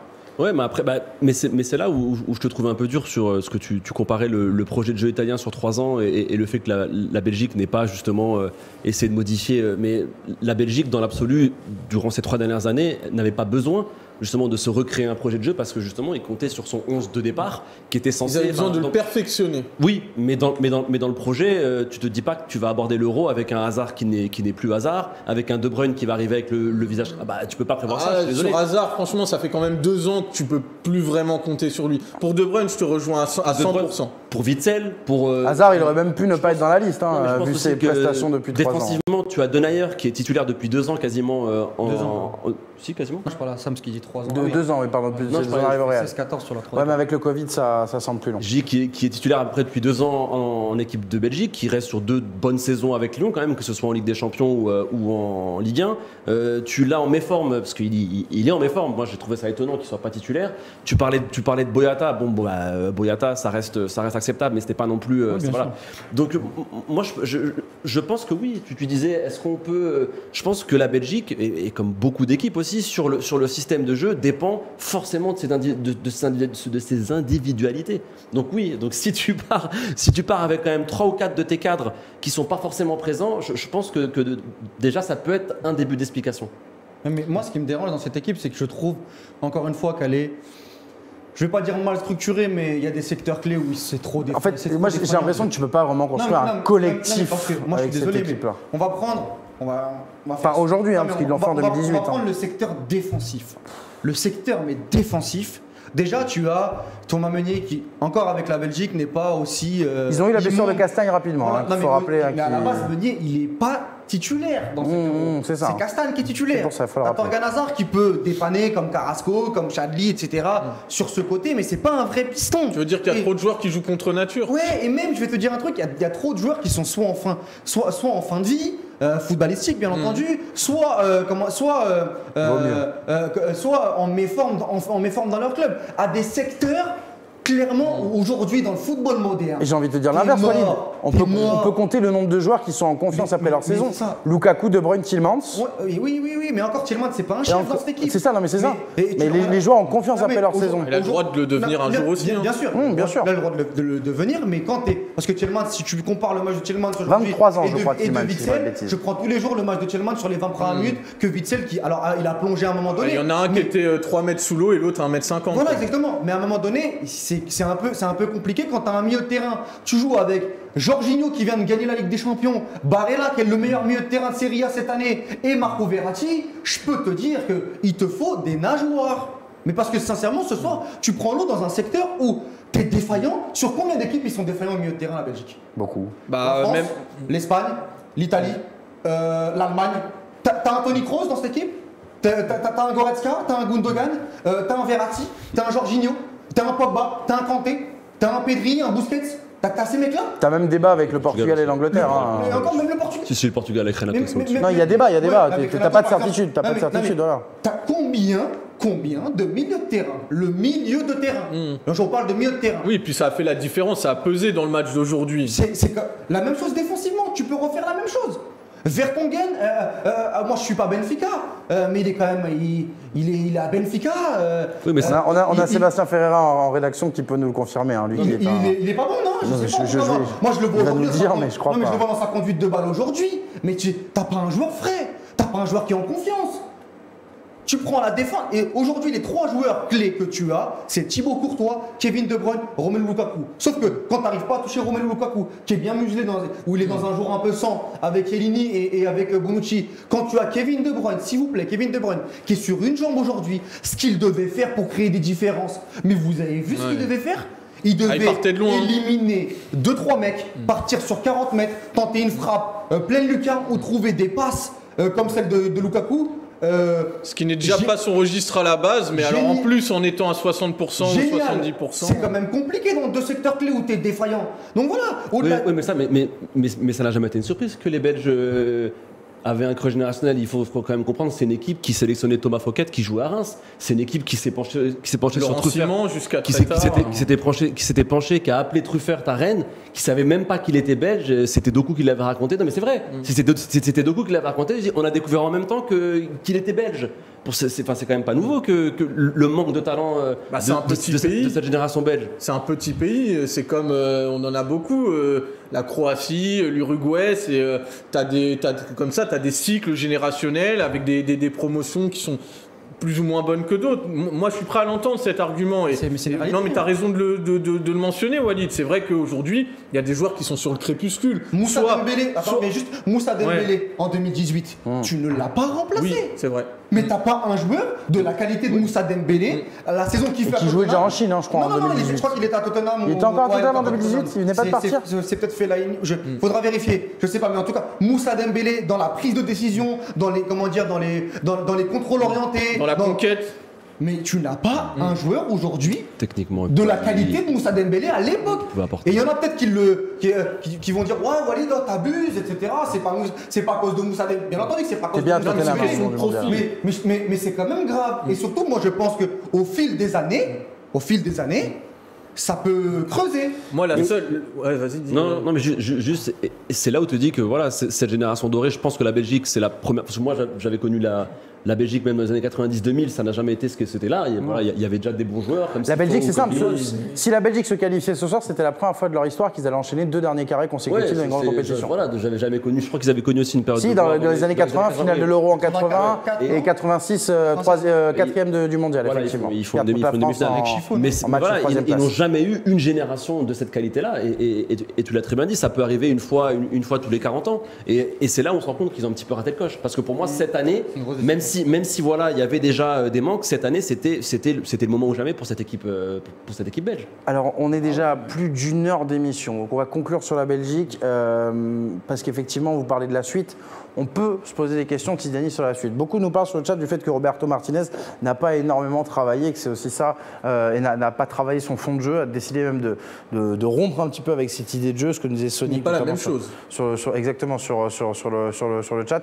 Pas travailler, rompre, effectivement, c'est deux. Ah Ah oui. On peut, mais on, on- Pour moi, c'est l'un ou l'autre. mais on peut se dire que c'est lié. On peut se dire que vouloir rompre avec son idée de jeu, c'est peut-être pas vouloir avoir voulu le- l'approfondir, l'expérimenter, le... et surtout après la, la défaite contre la France, ça te dit bah, je vais arrêter de m'emmerder, je vais, je vais changer de stratégie.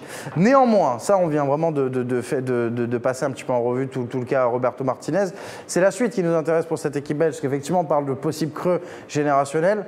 On se rend compte que pour l'équipe qui va arriver dans deux ans, bah, les forces elles vont diminuer encore plus parce que certes on avait des joueurs vieillissants mais on avait des joueurs au moins à certains postes.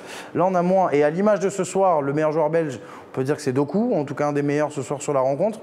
Mais là aussi, on est dans un secteur où la Belgique est déjà armée. C'est un petit peu ça, le, le- finalement, le, le- le revers de la médaille. C'est qu'il y a encore quelques talents qui sortent, mais ces talents-là ne vont peut-être pas faire passer un cap au, au collectif. Non, mais c'est pour ça que ce. Moi, j'ai du mal à imaginer que Martinez, qui est là quand même depuis plusieurs années, à la suite de cette défaite, va radicalement changer son Bah non, approche, non. sa structure de jeu. Il a déjà eu quand même pas mal de difficultés à faire avaler ce, ce système-là à certains joueurs qui étaient très réticents pour certains au, au départ, à l'image de- même d'un De Bruyne qui au début était euh, dans les deux du, du milieu de terrain, qui maintenant est dans les, dans les trois de devant. Donc moi j'ai du mal à l'imaginer aujourd'hui mettre un, un grand revers de, de la main et, et virer tout ce qu'il a, tout ce qu'il a mis sur la table.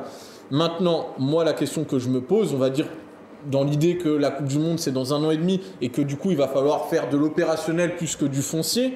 Quand tu es coach, euh, t'as- t'as- voilà, soit tu vas tout de suite sur ce que tu peux corriger, sur, sur- sur ce sur quoi tu peux agir pour rendre ton équipe plus compétitive, soit tu mets des fondations, mais à ce moment-là, tu sais que ce sera pas pour jouer la gagne tout de suite, mais peut-être dans une, deux, trois compétitions. Et là, vu la nature de ce groupe belge, je pense qu'il va plutôt aller sur de l'opérationnel vu le, le profil des mecs, à moins que. Et tu as, tu as un peu de nombre de matchs au final. C'est ça. La En plus. du Monde. Et surtout, on en revient aussi à la, à la- à la matière que tu as à ta disposition. Si là, tu avais un noyau avec, euh, je sais pas, 5, 6, 7 joueurs de euh, 20 à 25 ans sur lesquels tu pouvais euh, définir une ossature pour les années à venir, là, à la limite, euh, j'entendrais qu'on dise, bon, allez, là, on a des leaders, euh, ça commence à être terminé, les trois défenseurs, on vire, on n'attend pas la Coupe du Monde. Euh, Hazard, on sait qu'on peut plus compter dessus, donc on va miser sur 2-3 cadres, Lukaku, euh, Courtois et euh, Tillmans au milieu de terrain, et le reste, on va commencer à agencer un, un nouveau système. Mais je pense même pas qu'il a cette possibilité-là aujourd'hui. C'est ça. Donc, moi, ce qui me semblerait le plus cohérent, et je dis ça en toute modestie, c'est de revenir à ce qu'il a fait à la base, c'est-à-dire s'appuyer sur sa notion de structure. Et ensuite, une fois que tu as ta structure, donc si ça doit être ce 3-4-3, et ben ce sera ce 3-4-3, mais à ce moment-là, tu remplis ton système avec des joueurs qui sont capables de répondre à ce que ce système requiert. Donc peut-être que ça va t'imposer de faire du tri, de virer certaines Faut, têtes faut de cette pouvoir le équipe. faire le tri. hein. Parce que même ce soir, ce soir, le banc de la Belgique, c'est vrai que tu es en 2016 hein, quand tu regardes le banc. Est-ce hein, que c'est les euh, profils des joueurs Non, mais que, c'est vrai, que hein. tu Ouais, prends qui doivent va servir ta structure ou est-ce que c'est ta structure qui va définir quel joueur tu vas mettre au service? Après, on va attendre, il reste quand même des joueurs. On est pas Hamza sur le chat, Non, il nous dit que pour lui, On est- on est- ça lui semble assez sombre quand même avenir. mais attendez, euh, on va pas être dans le catastrophisme non plus. Non, bien sûr. voilà, Non, mais il faut, Tchèlevas, faut il est dire. jeune, non, mais on, peut- on donc, peut euh, dire, est Walid, que cette génération, qui est peut-être la plus grosse génération de l'histoire du foot Ah, c'est- et une des plus grosses Ah, générations de l'histoire ah, du foot européen, avec les va sûrement être Fanny à la Mais fin. Avec l'élimination de la France en- en- euh, euh, face à la Suisse, il y avait un, pas, je vais pas dire un boulevard parce qu'il fallait quand même sortir l'Italie. Non, mais on s'est dit effectivement, oui. Mais il y avait quand même une. C'est- non mais il y avait Pas mal. Hein, il y avait une immense- Voilà, non, le mais- boulevard, il est, Non, voilà, euh, il avait- il est bouché, quoi. Non, mais, non, mais il a raison. mais il y avait sur, une les, sur les nations favorites, en une- début d'Euro, début juin. Il y avait une grosse. Ah, ben une fois que la France sortait, la Belgique reprenait le costume de. Si on voit les 8 équipes en quart et qu'on se Bien sûr. la, mais Belgique. Ah non, mais quand on arrive en quart et que la France et l'Allemagne sont sortis, Non, bien sûr que le favori numéro un, lâcher. c'est la Belgique. Se faire sortir par l'Italie, c'est un terrible C'est un échec, voilà. C'est un échec. Euh, une Italie qui revient de très loin, euh, alors que toi, avec 2018, tu ressortais avec une troisième place en Coupe du Monde euh, assez euh, valorisante et assez encourageante. Bah, t'as une équipe qui a pas joué à la Coupe du Monde contre une équipe qui a fini troisième. Ça, c'est une réalité. Même si on sait que dans le football de sélection, en un an, tu peux te remettre à l'endroit, etc. Il y a une dynamique, il n'y a aucun souci là-dessus.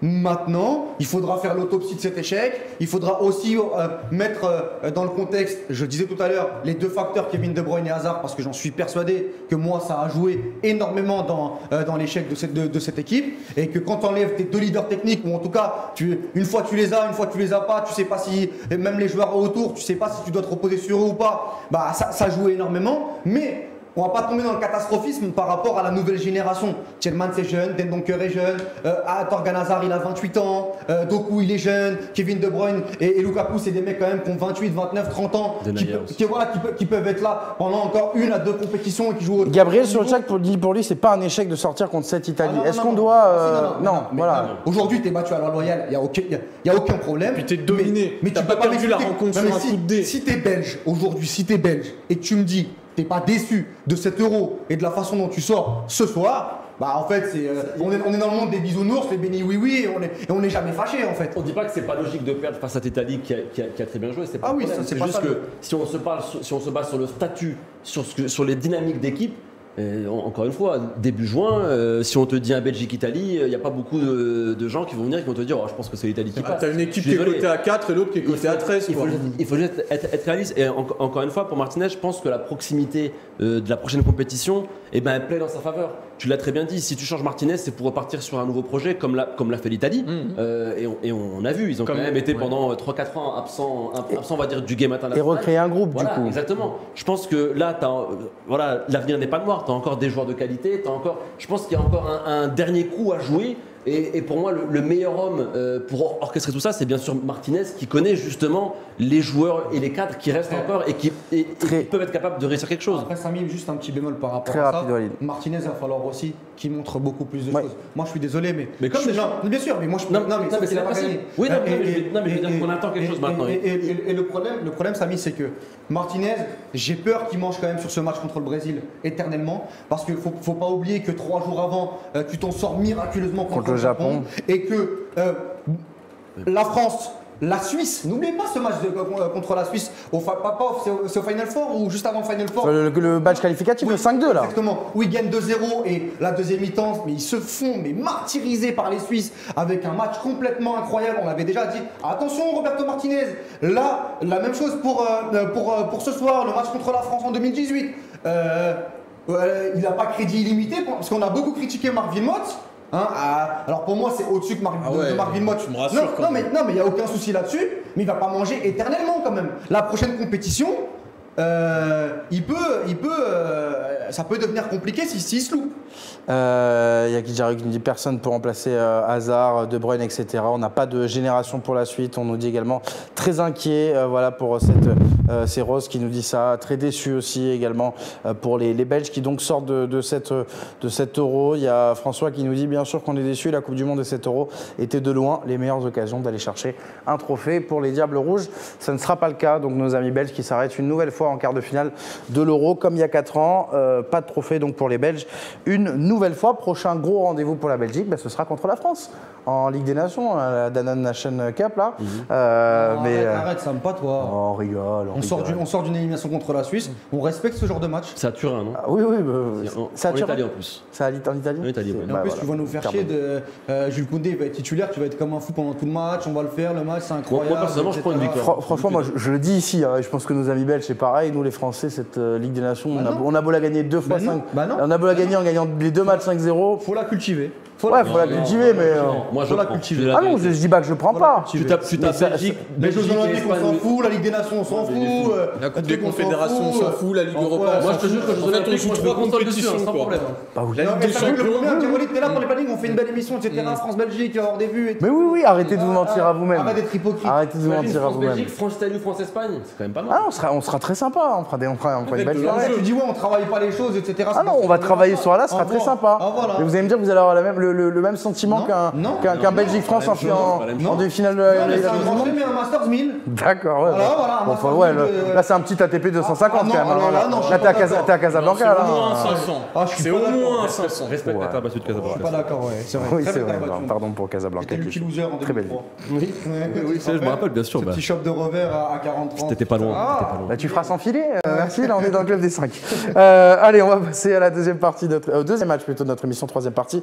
Juste avant, je vous remercie ce soir, vous êtes euh, très nombreux avec nous, très nombreux pour commenter. Quoi? On est beaucoup. Moins que ce que j'imaginais. Il y en a qui n'ont pas osé venir en pensant que ça allait être euh, le festival de. Je Ah, pense. est- Il y en a qui pensaient en fait qu'on allait se venger sur les Belges et les Suisses, alors que Non, du c'est vraiment pas notre genre. On est Jérémy. Non, mais pas- je rigole pas. Ça hein. veut dire qu'on est Jérémy pas beaucoup là ce soir. On est, on est, Jérémy, on est Jérémy pas beaucoup, excellent, j'aime beaucoup. Euh, j'aime beaucoup. Allez, c'est parti pour donc likez les sociaux et abonnez-vous ceux qui nous, que nous découvrent.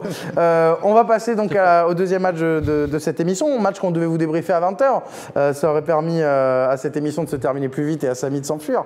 Euh, mais Samy, on... faut vraiment qu'il qu'il- Ah ouais, il faut qu'il parte, il a, il, a, il a- il a un truc très important. 12 minutes Il a un truc très important dans... dans- On est que moi et Tijani.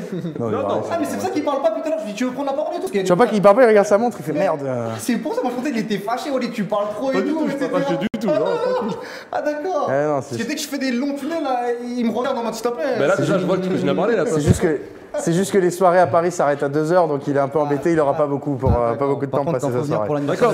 Euh, Ah. Ah, tu m'as balancé sur le short, hein, n'oublie pas. d'accord, Euh, on y va donc sur cette Espagne-Suisse euh, qui, s'est, euh, qui a été long comme rencontre. Décidément, les Suisses, ils aiment pousser euh, leurs adversaires au bout du bout euh, et peut-être les pousser à bout. Ça a été le cas contre la France. Ça n'a pas été le cas ce soir contre l'Espagne. Ça a mal commencé pour les Suisses, ouverture du score 2. Alors je vois que le, le but a été définitivement accordé à Zakaria. Je Il est trouve, pas cadré apparemment. je trouve un peu, ouais, je sais pas comment ils font pour savoir qu'elle, est cadrée ou non. En tout cas, sur les frappes, Avec un ralenti. frappes de Jordi Alba. Ah, parce que toi, euh, au ralenti.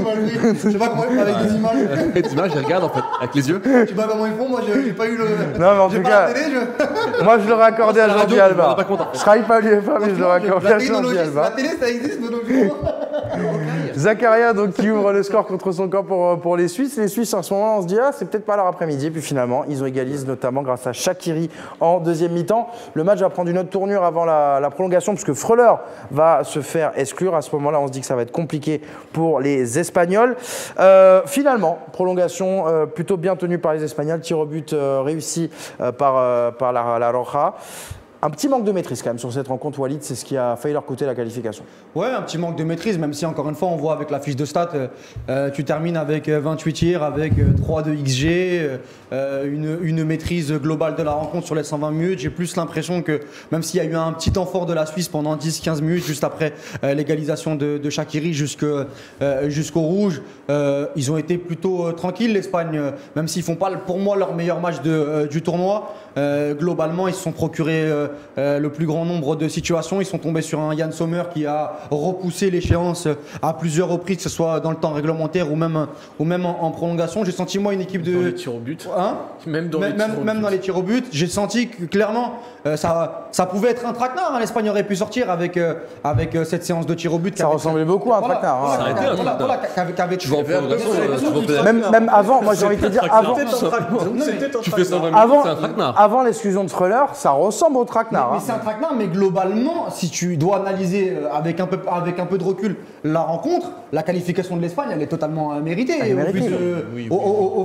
Vu de, ce qu'on voit. Mais c'est vrai qu'ils sont, ils se sont mis, j'ai l'impression, un petit peu tout seuls, comme face à la Croatie, euh, comme euh, face à la Suède, comme face à la Pologne, avec, euh, avec cette erreur de la porte et de, et de Pau Torres euh, conjuguée pour relancer la Suisse. Une équipe de. un une- manque de Pau. non, ouais, un manque de Pau. Euh, euh, euh, la Suisse, je les ai trouvés moi un peu fatigués, c'est normal après la, après la rencontre contre, euh, contre la France, avec un peu moins de jus, un peu moins d'énergie, un peu moins de, de qualité technique aussi au En milieu de temps, terrain. ils ont fait 4 tours du monde Bien depuis sûr, le début de bien l'Euro. sûr, donc, avec, euh, avec, avec la perte de Chaka et globalement l'Espagne, voilà, avec un très grand Unai Simon euh, sur cette séance de tir au but, euh, ils ont réussi à, à se qualifier et à, et à être en demi-finale. Mais globalement, moi, pour moi, euh, même si on n'a Ouais, pas vu une très grande Espagne, Quand même, même la séance de tir au but, les Espagnols ils partaient pour la perdre quand même. oui, bien sûr, mais ça, ça démarre, euh, ça démarre mal. Mais tu me dis, moi, par rapport à la rencontre, la seule crainte que j'ai eue pour l'élimination de l'Espagne, c'est à partir du penalty de Bousquet sur le poteau. Avant ça, je suis plutôt tranquille par Oui, rapport à ce qu'on voit. Tiens, ju- justement, j'aimerais qu'on voit une petite déclaration de, de Luis Enrique sur les pénalties. Parce Qu'est-ce qu'il qu'on dit parle, Louis Henry on parle de quoi? Qu'est-ce qu'il dit Louis Henry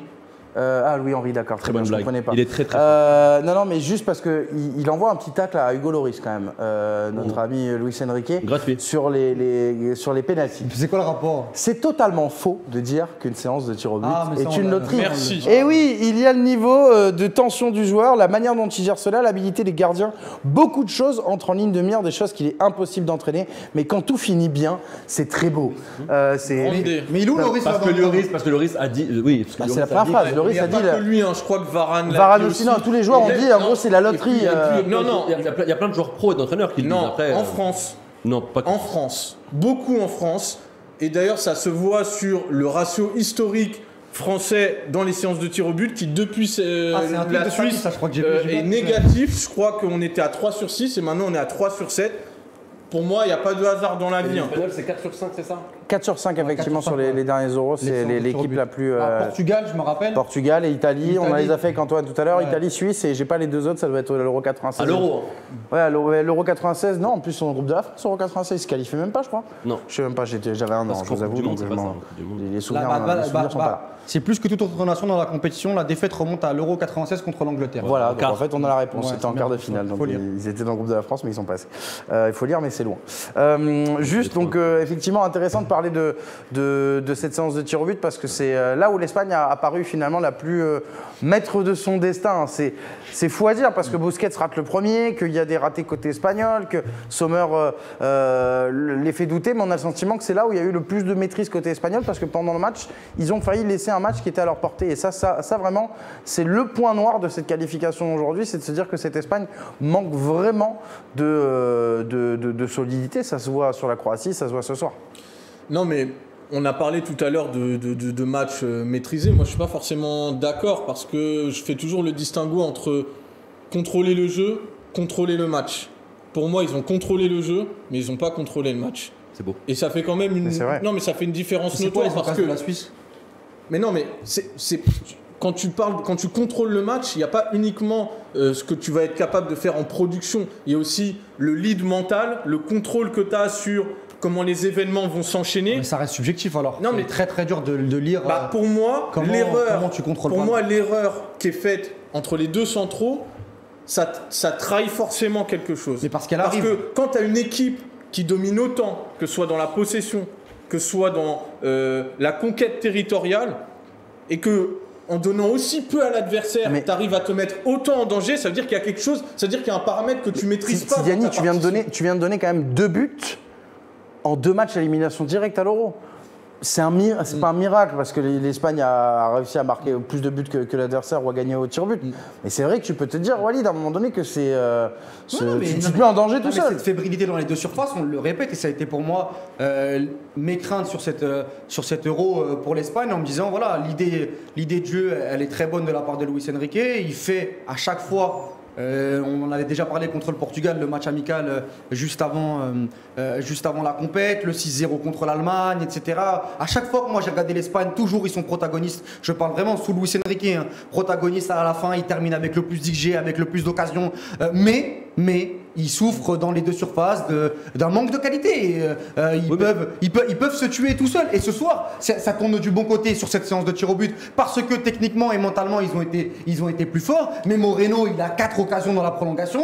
Euh, mais ils ont une seule occasion euh, pour les Suisses. Il, euh, il leur, il leur donne un but. Ça a été le cas contre la Pologne euh, avec le tir au but manqué. Ça a été le cas contre la Quand c'est récurrent, Voilà, mais- tu peux pas dire que c'est une péripétie. Une péripétie. Ouais, mais ça, ça, je pense que ça devient une de De tendance. toute façon, les- l'Espagne et l'équipe, les deux attaquants espagnols, Moreno et, et Borata, sont les deux attaquants qui ont manqué le plus de grosses occasions dans, cette, dans cet euro. Donc c'est aussi. En fait, c'est aussi. les ingrédients sont là. C'est symptomatique, Samy, effectivement. Il y a les, qui tire le plus il dans, y a les- dans ouais, la mais il y a- compétition. il y a les ingrédients, mais pour l'instant, on n'est pas sûr que le gâteau à la fin, il ressorte bien gonflé, bien cuit. On peut se retrouver avec un truc cramé, dégueulasse, qui est immangeable. Oui. Magnifique Ah métaphore. Immangeable, c'est en demi, non. Am- Immangeable, voilà. Immangeable, c'est un peu fort de café, parce qu'ils sont en demi. Mais, mais, S'ils étaient sortis au premier tour, je Oui, pense voilà, oui, on aurait- métaphore aurait été, mais, mais là, euh, juste, mais là, on peut dire que le, gâteau serait un petit peu trop cuit et qu'à la fin, on resterait quand même sur notre faim. Voilà, Ouais, on va le dire merci. comme ça. Merci Tidjani d'avoir ajouté de la mesure.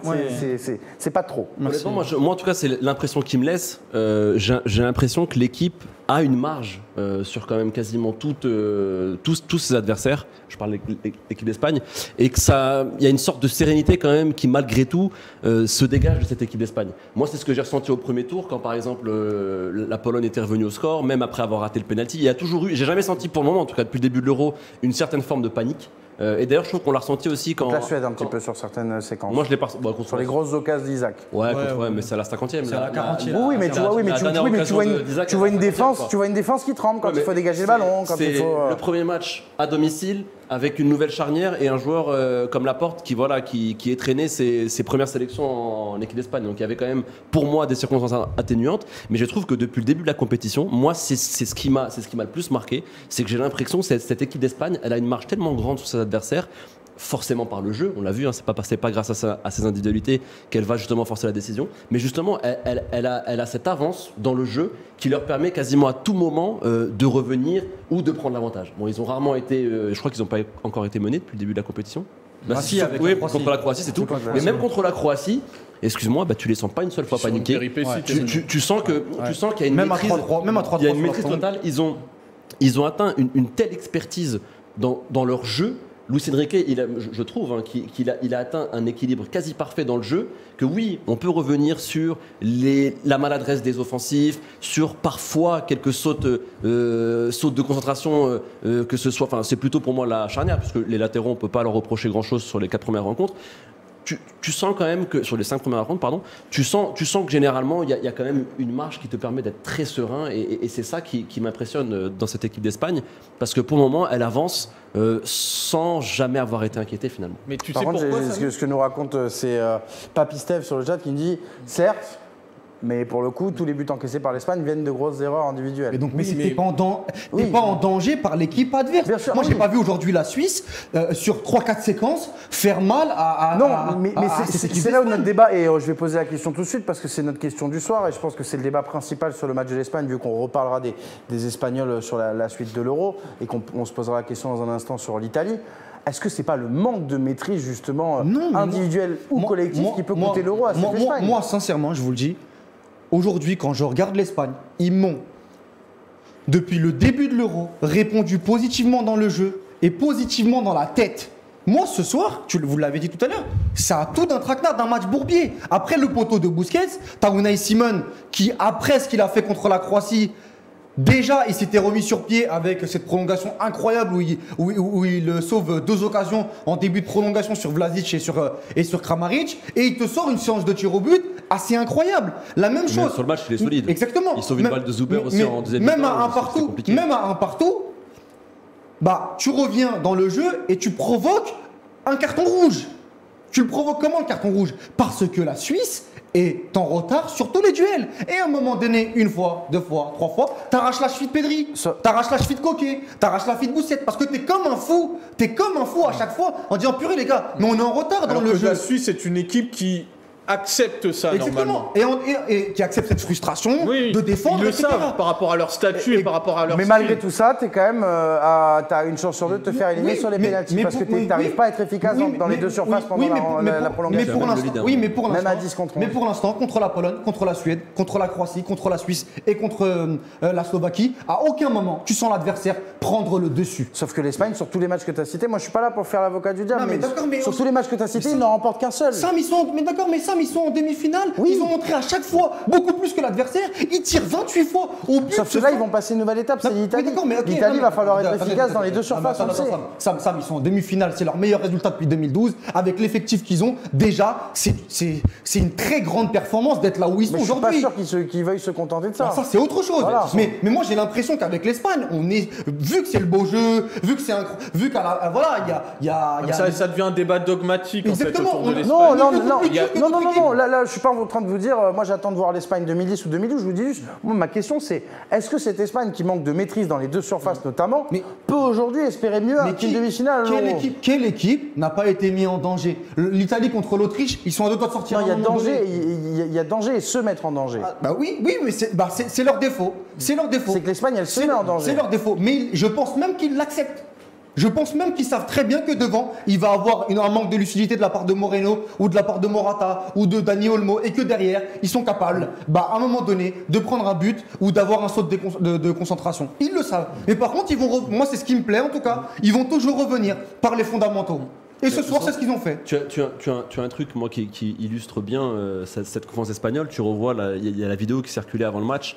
Tu as la question en conférence de presse à, à Luis Enrique, que, que je- d'ailleurs je trouve sa réponse extraordinaire, où il lui demande est-ce que euh, depuis le début de cet euro, vous avez vu une meilleure équipe que, que l'équipe d'Espagne? Il réfléchit quoi un, un centième de seconde? Et il dit non. Après, quand tu demandes ça à Luis Enrique, euh, Oui, mais, mais je suis désolé. c'est comme si moi je demande à Sami Mochtabi, est-ce qu'il y, a- est-ce qu'il y a une non, nation plus forte que la France dans le monde? Eh ben justement. Il va me répondre non parce que c'est de la provoque, Non, parce mais qu'il aime son justement, pays. Est tu me capable de dire le Maroc. Non, mais justement. Oui, c'est- vrai que. Non, mais justement, tu me connais. Et voilà. Et, et Il est, Et il est peut-être convaincu même- de ça. bah, il m'a convaincu. Ah non, mais je, je suis pas, mais je, je- d'avoir je dis pas le contraire. d'avoir- D'avoir cette persuasion. Mais même il- s'il l'était pas, Enrique le ferait parce que c'est son personnage aussi. Il aime, euh, il aime, il aime attirer l'attention sur lui pour euh, mettre en, enfin protéger aussi juste- son groupe. justement, pour te dire, tu, tu- tu connais ma façon de penser ou autre, mais en voyant cette vidéo, il m'a convaincu. Et c'est vrai, quand tu réfléchis. Non, mais c'est vrai. Tu, quand, quand tu réfléchis, et maintenant tu englobes ce cinquième match, aux cinq matchs de A l'Espagne. vu 40 matchs dans l'Euro, a pas été convaincu. Par contre, une vidéo de 10 secondes, le mec dit oui, on est les meilleurs. Non, mais il m'a, il m'a eu. j'aurais pu faire preuve de mauvaise Tu, tu me connais très bien. Oui, oui, non, pas toi. Et ben, et ben, et ben, sincèrement, non, mais si, si vraiment, si tu réfléchis, tu te, penches sur le- si tu te penches sur leurs cinq derniers matchs et tu te penches sur l'entièreté de l'Euro, oui, je pense que l'équipe d'Espagne est la meilleure équipe qui est présente depuis le début de la compétition. Après, Alors, il y a si l'Italie- aussi qui. Alors justement, c'est ma dernière question avant de passer passer à la Suisse. que nos, amis suisses, c'est vrai qu'on parle d'eux. C'est vrai que Et l'Italie aussi, euh, de- ça va être sur 4 heures d'émission là depuis lundi, on n'en a toujours pas parlé des, des Suisses. Donc on va y venir de- de- sur nos amis helvètes dans quelques instants. Juste sur euh, cette euh, Italie-Espagne, Tiziani, toi, tu, est-ce que tu penses que l'Espagne a encore un cran de retard dans sa préparation sur, euh, sur l'Italie? C'est très compliqué parce que les deux équipes finalement ont- ne sont pas dans, la même, euh, dans le même cycle. L'Italie a relancé un cycle il y a trois ans, l'Espagne c'est un petit peu plus récent. Et là où on avait peut-être il y a quelques années une vraie opposition de style d'un point de vue culturel avec une Italie qui était un petit peu toujours euh, rétrograde dans sa façon de, se présenter dans les grandes compétitions avec euh, cette équipe très défensive, très axée sur la notion de duel et de tactique. Là aujourd'hui, on a presque une, une Italie, je vais pas dire qui joue à l'espagnol, mais qui a euh, fait évoluer ses, principes. Tandis que l'Espagne, et c'est là où je voulais apporter un complément euh, par rapport à ce qui était dit, l'Espagne a un mérite, c'est que maintenant, ils ont une feuille de route, et quels que soient les interprètes, quelles que soient les époques, quels que soient les adversaires, ils vont s'y tenir. Et ils vont pas se laisser démonter par le fait que sur un match, des, euh, des joueurs qui ont un vécu commun de quelques mois, là où on les compare avec une génération qui a fait une radia sur tous les trophées, mais en travaillant sur des années, sur un cycle de quasiment Avec 10 ans. des clubs qui gagnaient tout Voilà. aussi. Et moi, euh, c'est ça que- que- qui me fait penser que l'Espagne, s'ils n'y arrivent pas là, s'ils n'y arrivent pas dans un an et demi, eh ben, ils y arriveront dans trois ans ou dans cinq ans, parce que les mecs qui aujourd'hui sont les interprètes de cette feuille de route-là, ils vont prendre de la bouteille, ils vont prendre de l'expérience, ils vont prendre du cynisme dans leur façon d'être tueurs dans leur propre surface et dans la surface adverse. C'est pour ça que Aujourd'hui, je ne peux pas euh, présager du fait que l'Espagne va sortir l'Italie par le simple fait qu'ils vont leur confisquer le ballon. Ça, j'en sais rien. L'Italie, franchement, je suis incapable. de L'Italie nous a montré aussi que dans, dans- dans un jeu de transition, ils étaient capables de s'adapter avec des joueurs qui étaient capables d'être verticaux, avec de la vitesse, avec d'autres arguments. Et c'est aujourd'hui ça la force de l'Italie. Ils peuvent jouer en attaque placée, en transition rapide, là où l'Espagne peut-être a un registre un petit peu plus restreint. Mais au moins, ils sont sur un registre, à défaut de le maîtriser complètement, on sait euh, à, à quoi ils vont, ils vont C'est s'attacher. le cas, c'est le cas pour les deux. hein. Aujourd'hui, c'est la, deux- c'est la demi-finale du, du football protagoniste, du football qui termine avec le plus de tirs de- depuis le début de, de l'Euro avec le, avec le Danemark. Des nouveaux projets? Non, voilà, les- les- une- deux, deux coachs qui, euh, qui sont euh, euh, adaptés, encore une fois, aux caractéristiques des joueurs pour essayer de proposer du jeu. Et depuis le début de la compétition, l'Italie et l'Espagne ont maîtrisé leur rencontre. Et, euh, Avec maintenant, une maintenant, moi, je, esthétique. maintenant, moi, je suis incapable de savoir qui va sortir qui. Euh, Il y a le facteur physique qui va aussi euh, euh, rentrer euh, en, compte. Quand tu vois que Pedri a fait deux fois 120 minutes et que c'est quand même l'un des meneurs de jeu de cette équipe, comment il va réagir sur une troisième rencontre face à un milieu de terrain euh, de ce type? La même chose pour Busquets, euh, devant. euh, voilà, il y a plein de. euh, en tout cas, mais en tout cas, moi je trouve que, tu sais, moi j'étais désespéré après la défaite de, de la France par rapport au tableau, etc. Cette demi-finale là. Elle me te remet du sel non, dans le- Franchement, elle me, je la trouve. Non, mais je la trouve sexy. Je la trouve sexy. Je trouve qu'on se.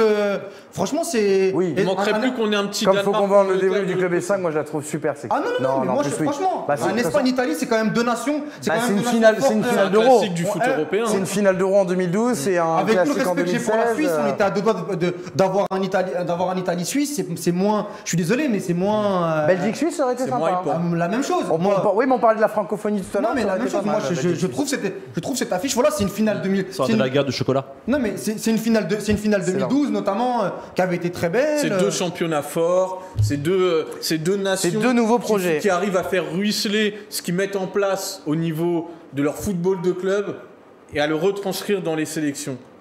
Et- Ça, on l'a peut-être pas assez dit pour l'Italie, mais ça, c'est un, un vrai, un vrai plus aussi. Moi, j'aimerais avoir la réponse de, de Samy. Tu vois qui, toi? T'es pour qui? Entre, entre l'Espagne et l'Italie? Ouais. L'Espagne. Espagne Ouais, l'Espagne. Pourquoi?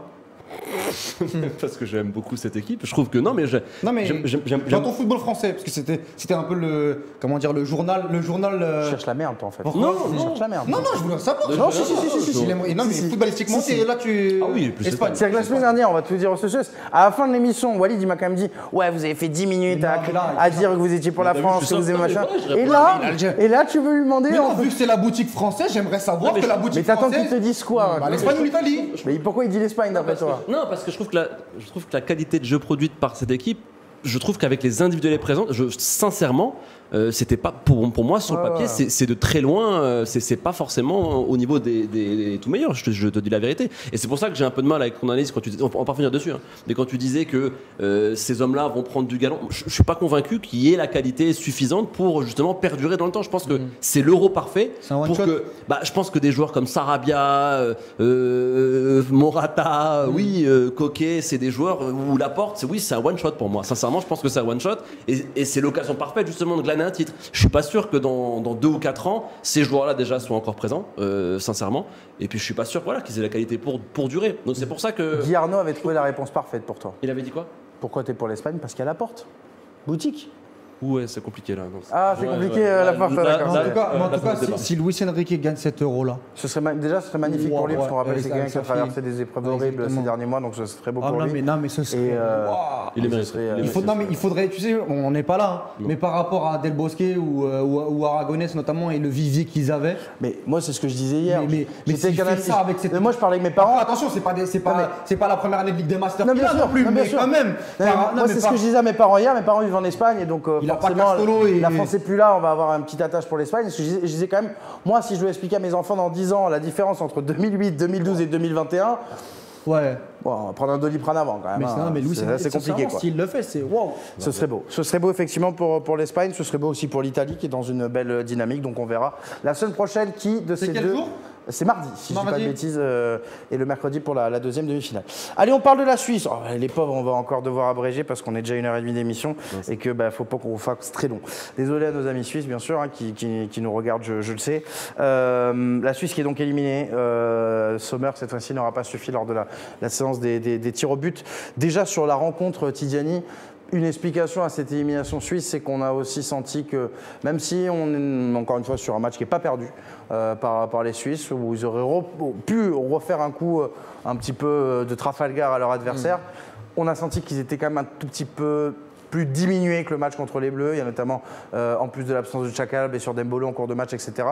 On a senti que c'était un peu moins costaud et donc même si ça va jusqu'au tir au but, on peut comprendre euh, l'élimination ce soir, qui est honorable hein, pour la Suisse en quart de sûr. finale de l'Euro. Une élimination de plus euh, au tir au but pour la Suisse, qui a quand même connu Ah, cette désillusion euh, quand même un paquet de fois Ouais. depuis du- peut-être 2006. Où ils- Ouais, il y aura qu'un pays finalement Ouais. qui n'a pas réussi à les sortir au péno. Mais C'est long. moi, ce que je dégage de, de cette rencontre, c'est euh, c'est d'avoir retrouvé, malgré les absents, tu l'as dit, quand même certains euh, piliers de ce que cette équipe suisse euh, a l'habitude de, nous proposer. C'est-à-dire que il y a un mérite qui est quand même de très souvent pouvoir donner le change tactiquement, mais aussi mentalement aux adversaires.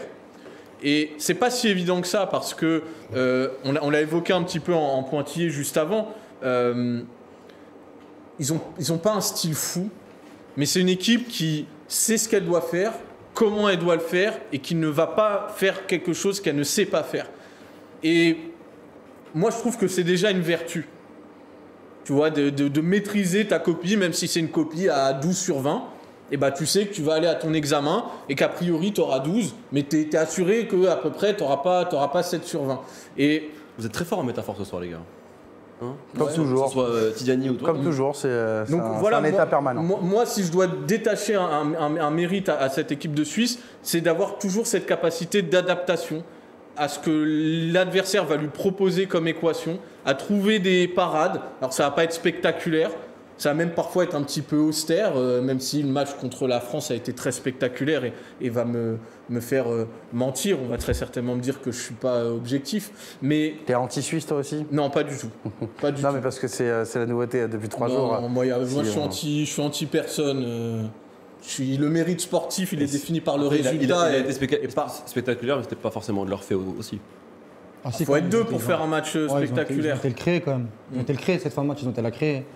Faut y croire, hein. sincèrement 3-1 contre les champions du Mais monde. même ce soir, hein, euh, ce, non, mais- ce- ce- mais- ce soir, ce soir c'est le cas aussi. Moi- la, moi- la fin de match, alors oui, il y, a le- il y a le carton, il y a le carton rouge qui vient, qui vient ralentir un peu la dynamique, mais sur la fin de match, ils mettent un petit peu le feu à partir mais- du moment où ils égalisent. pendant il y a- une deux- il y a- pendant il y a- 20 minutes, il y a six- pendant, ouais, pendant 20 ouais. minutes, euh, il y a jusqu'au carton rouge, il y a pendant voilà, 17 minutes, Ouais, ouais, c'est un ouais, peu chaud quand même. Ouais, ouais, il y a- ils sont dans le match à un moment donné, euh, même si moi je les ai trouvés un peu décevants ce soir. Il n'y a pas de grosse situation, notamment avec mais il y, a- y du doute. Avec la Premier tir cadré à la 64e. Voilà, avec la perte de Chaka, je pense qu'ils ont eu, ils ont eu beaucoup de mal et on l'a vu même dans- au-delà de son apport technique sur le terrain, euh, ce qu'il peut, ce qu'il peut apporter en, en leadership, euh, ça, ça coûte sur ce genre de, euh, de rendez-vous. Mais moi, globalement, alors, je regarde pas tous les matchs de la Suisse. euh, je les ai vus en Ligue des Nations contre l'Allemagne euh, notamment. Je les ai vus en Ligue des Nations contre la Belgique notamment. À chaque fois que je vois cette équipe, notamment aller depuis 2018, je trouve qu'il y a eu un changement de cap de la part de Petkovic où c'est quand même une équipe de plus en plus joueuse.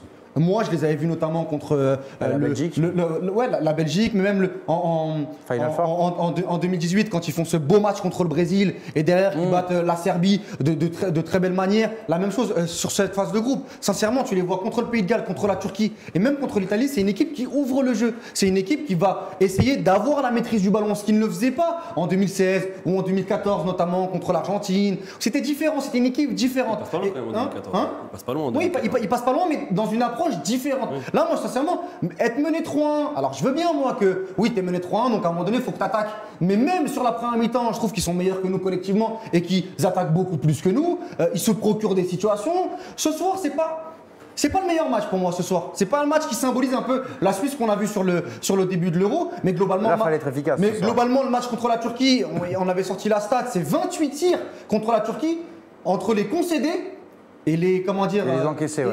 et- euh, non, les concédés et, et les, les et les procurés et les effectués et les effectués. C'est-à-dire que c'est une équipe qui ouvre, c'est une équipe qui se dé- Oui, oui, oui, c'est une, ok, équipe oui. qui- c'est une équipe qui se découvre. Après, il y avait eu beaucoup de tirs turcs. Et bien sûr, c'est pour ça que je te dis ça. C'est vraiment euh, euh, mélangé entre, entre les deux, cette, cette stade. Et puis il y a des joueurs qui se sont révélés. Moi, je suis désolé, mais euh, on parlait de- d'effectifs limités pour le- pour l'Espagne.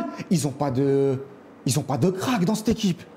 C'est une- c'est sincèrement, Seferovic va demander aux supporters de Benfica. Shakiri, il est, il est, il est, il est absent avec euh, Liverpool. Alors, euh, c'est un bon joueur de sélection, mais c'est limité. Mbolo, ça peut être très bien avec là-bas, ça peut être moyen aussi. Non, Ils ont, Voilà. ils ont Akanji. de- Voilà, de- de- Akanji a fait un, très bel euro. C'est le seul, Ah, c'est le seul bon, et- très très et bon. encore, Mais Akanji, tu vas demander à Dortmund. ils c'est- sont pas tous fans. Ouais, non, mais c'est voilà, c'est des fois c'est. Oui, assez- mais en termes de performance sur les dernières années, c'est Ah le meilleur oui. suisse. oui, mais c'est assez régulier. Euh, voilà, Chaka est un joueur différent avec la Suisse qu'avec Arsenal où il est un peu plus, il, il est un peu plus irrégulier. Mais Sommer, est, par contre, Sommer est un bon, vraiment un bon gardien de, Ils ont cette tradition-là. de, de, Bund- de Bundesliga. Mais avec le matériel qu'il a, sincèrement, aujourd'hui, euh, voilà, ils, ils ont eu la- leur plus grande émotion et leur plus grand résultat dans l'histoire de la Suisse avec ce huitième de finale. C'est un, c'est un euro euh, réussi. Vraiment, c'est un euro réussi. Justement, c'est- c'est c'est la question que je voulais poser Samy. Alors, euh, sans vouloir trop abréger non plus la partie suisse, même si euh, on va être assez court, euh, on va arriver déjà à ce débat. C'est faire le bilan de cette compétition. Est-ce qu'on peut parler vraiment d'euro réussi? Walid vient de le dire. C'est le meilleur résultat depuis 1938. Comment dire autre chose? C'est, euh, tu viens d'éliminer le champion du monde, tu perds contre l'Espagne au tir au but, euh, euh, c'est pas de la loterie certes, mais dans une séance de pénalty où t'as pas été ridicule, tu as été beaucoup moins bon contre la France, mais t'as pas été ridicule. Où t'es à 10 contre 11 pendant 40 minutes. Exactement, avec, avec Sommer, encore une fois, qui te fait un bel euro. Quand tu prends la globalité, franchement, c'est très prometteur ce que nous a produit la Suisse pendant ce. Oui. On va peut-être enfin avoir une nation qui est autre chose qu'un sparring partner. Oui, moi je trouve, je trouve honnêtement. dur sparring partner quand même. Non, mais c'est vrai que. Bah, c'est- c'est vrai que d'habitude, c'est une équipe de poule. Ouais, mais c'est trois fois, ils ont fait trois fois huitième. Oui, oui, oui, mais c'est oui, mais c'est l'équipe qui finit deuxième en poule, la Suisse. Ouais, mais c'est régulier quand Ah même. oui, c'est régulier. Je, crois qu'on se rend pas compte. Hein. C'est- régulier, Walid, mais tu, conçois qu'à chaque fois que tu jouais cette équipe en huitième, la preuve la semaine dernière avec la France, c'est pas une équipe qui t'inquiétait. C'est une équipe qui malheureusement. laissait un goût d'inachevé. Oui, Voilà, c'est ça, c'est Sur la vrai. dernière compétition, c'est vrai que c'est une équipe et même voilà, c'est une génération qui, qui- qui promettait beaucoup, qui a quand même plus déçu que, que ravi. Moi, j'ai, moi, j'ai été oui, j'ai au, au final, enfin, dans la défaite, j'ai quand même été content que voilà, pour une fois, c'est des joueurs qui semblaient mériter. Après, il y a eu quand même pas mal de choses durant cet Euro. Je sais pas si vous avez été au courant. Il y a eu des histoires entre Il y a eu pas mal d'histoires dans le groupe. euh, des, des, des- Raconte-nous, raconte-nous. Bah, en Suisse, il y a eu Même si tu veux te barrer, mais. non, je vous le dis, je vous le Ouais, dis, euh, bah, je vous raconte, durant Ouais. l'Euro, il y a eu des, des trucs de fous qui sont passés, qui n'ont pas été forcément relayés en France. Euh, il y a eu l'histoire du, euh, du coiffeur qui était venu. euh, qui était venu... Non, mais, non, mais c'est vrai. il y a- Oui, mais je crois. c'est je vrai, crois. pourquoi. Est-ce que vous saviez que la veille du match contre la France, Petkovic avait écrit une lettre ouverte en Suisse? Il avait écrit, le, le coach avait écrit une lettre ouverte pour, cal- pour calmer tout ça. C'était parti dans des débats de, voilà, de race, d'ethnie entre les, les joueurs euh, qui viennent de l'Est, qui viennent de- d'Afrique. Les C'était vraiment- francophones, les c'était vraiment un- germanophones, un, climat etc. horrible. Et cette victoire contre la France, ça leur a fait du bien. Ça leur a fait énormément de bien. Non, mais vraiment, il y avait un, un- un climat très, très, euh, très, très délétère. La France a Et donc- fédéré un pays, encore une fois. mais vous ça. pouvez trouver la lettre, il l'avait mise dans les médias où il, il avait appelé au calme. Parce que vraiment, 2-3 jours avant d'affronter la France, c'était vraiment le bordel en Suisse. Vous pouvez demander aux supporters suisses, c'était vraiment, ils étaient au bord de, ils étaient au bord de l'implosion. Et donc. euh, On donc- espère que tu nous racontes la vérité de toute façon, parce Ah qu'il non, y a je 1500 personnes non, qui je dis la t'écoutent. vérité, non, c'est vrai en plus. je- Non, je mais mens pas. Les- les je pourquoi tu mentirais. Bah, tape, tape lettre ouverte Petkovic, tu verras qu'il Les a. Suisses présents ne, contredisent pas. donc. Ah, mais Non, oui, mais non, c'est vrai, donc, vraiment, je je comprends, c'est ça. mais on on- Donc le voilà, et, et moi, et- et oui, bien sûr que oui, tu dis, c'est énorme ce qu'ils ont fait. Il a C'est pas l'habitude de raconter des fausses anecdotes. Non, mais ça c'est une vraie anecdote. Non, mais voilà. Non, non, après je connais pas la lettre exacte, mais vous, la, retrouverez. Mais, tu sentais que voilà, je- et tu sentais que, moi je trouve que dans, le, dans le storytelling, eh ben, eh ben, eh ben, c'est mérité. Euh, quand ils le raconteront plus tard, euh, je pense, qu'ils avaient atteint justement, il y a souvent ce contre-coup, tu, tu élimines la France championne du monde pour la première fois, tu passes les huitièmes de finale, et tu sentais d'ailleurs dans leur célébration que c'était quelque chose d'énorme. On l'a vu aussi même chez eux, dans leur pays ou autre. Tu sentais qu'il y avait quelque chose de, franchi, et on sait que c'est très compliqué, surtout quand c'est toi la petite nation, c'est très compliqué ensuite de, de, de refaire, de rééditer cet exploit. Et même là, sincèrement, moi ils m'ont surpris, j'étais convaincu qu'ils allaient se faire cartonner.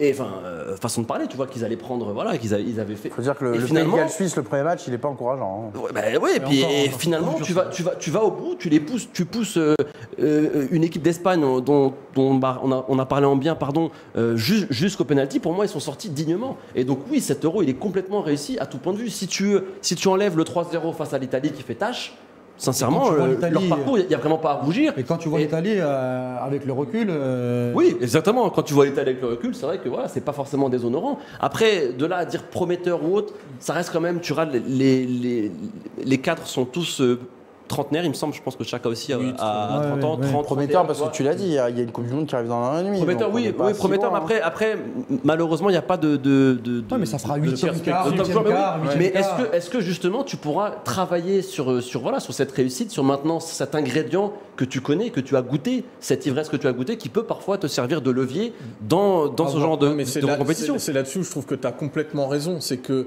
à la limite, qu'ils soient éliminés, bon, ils vont être tristes ce soir. Mais c'est pas ça le souvenir qu'ils vont garder de, cette compétition.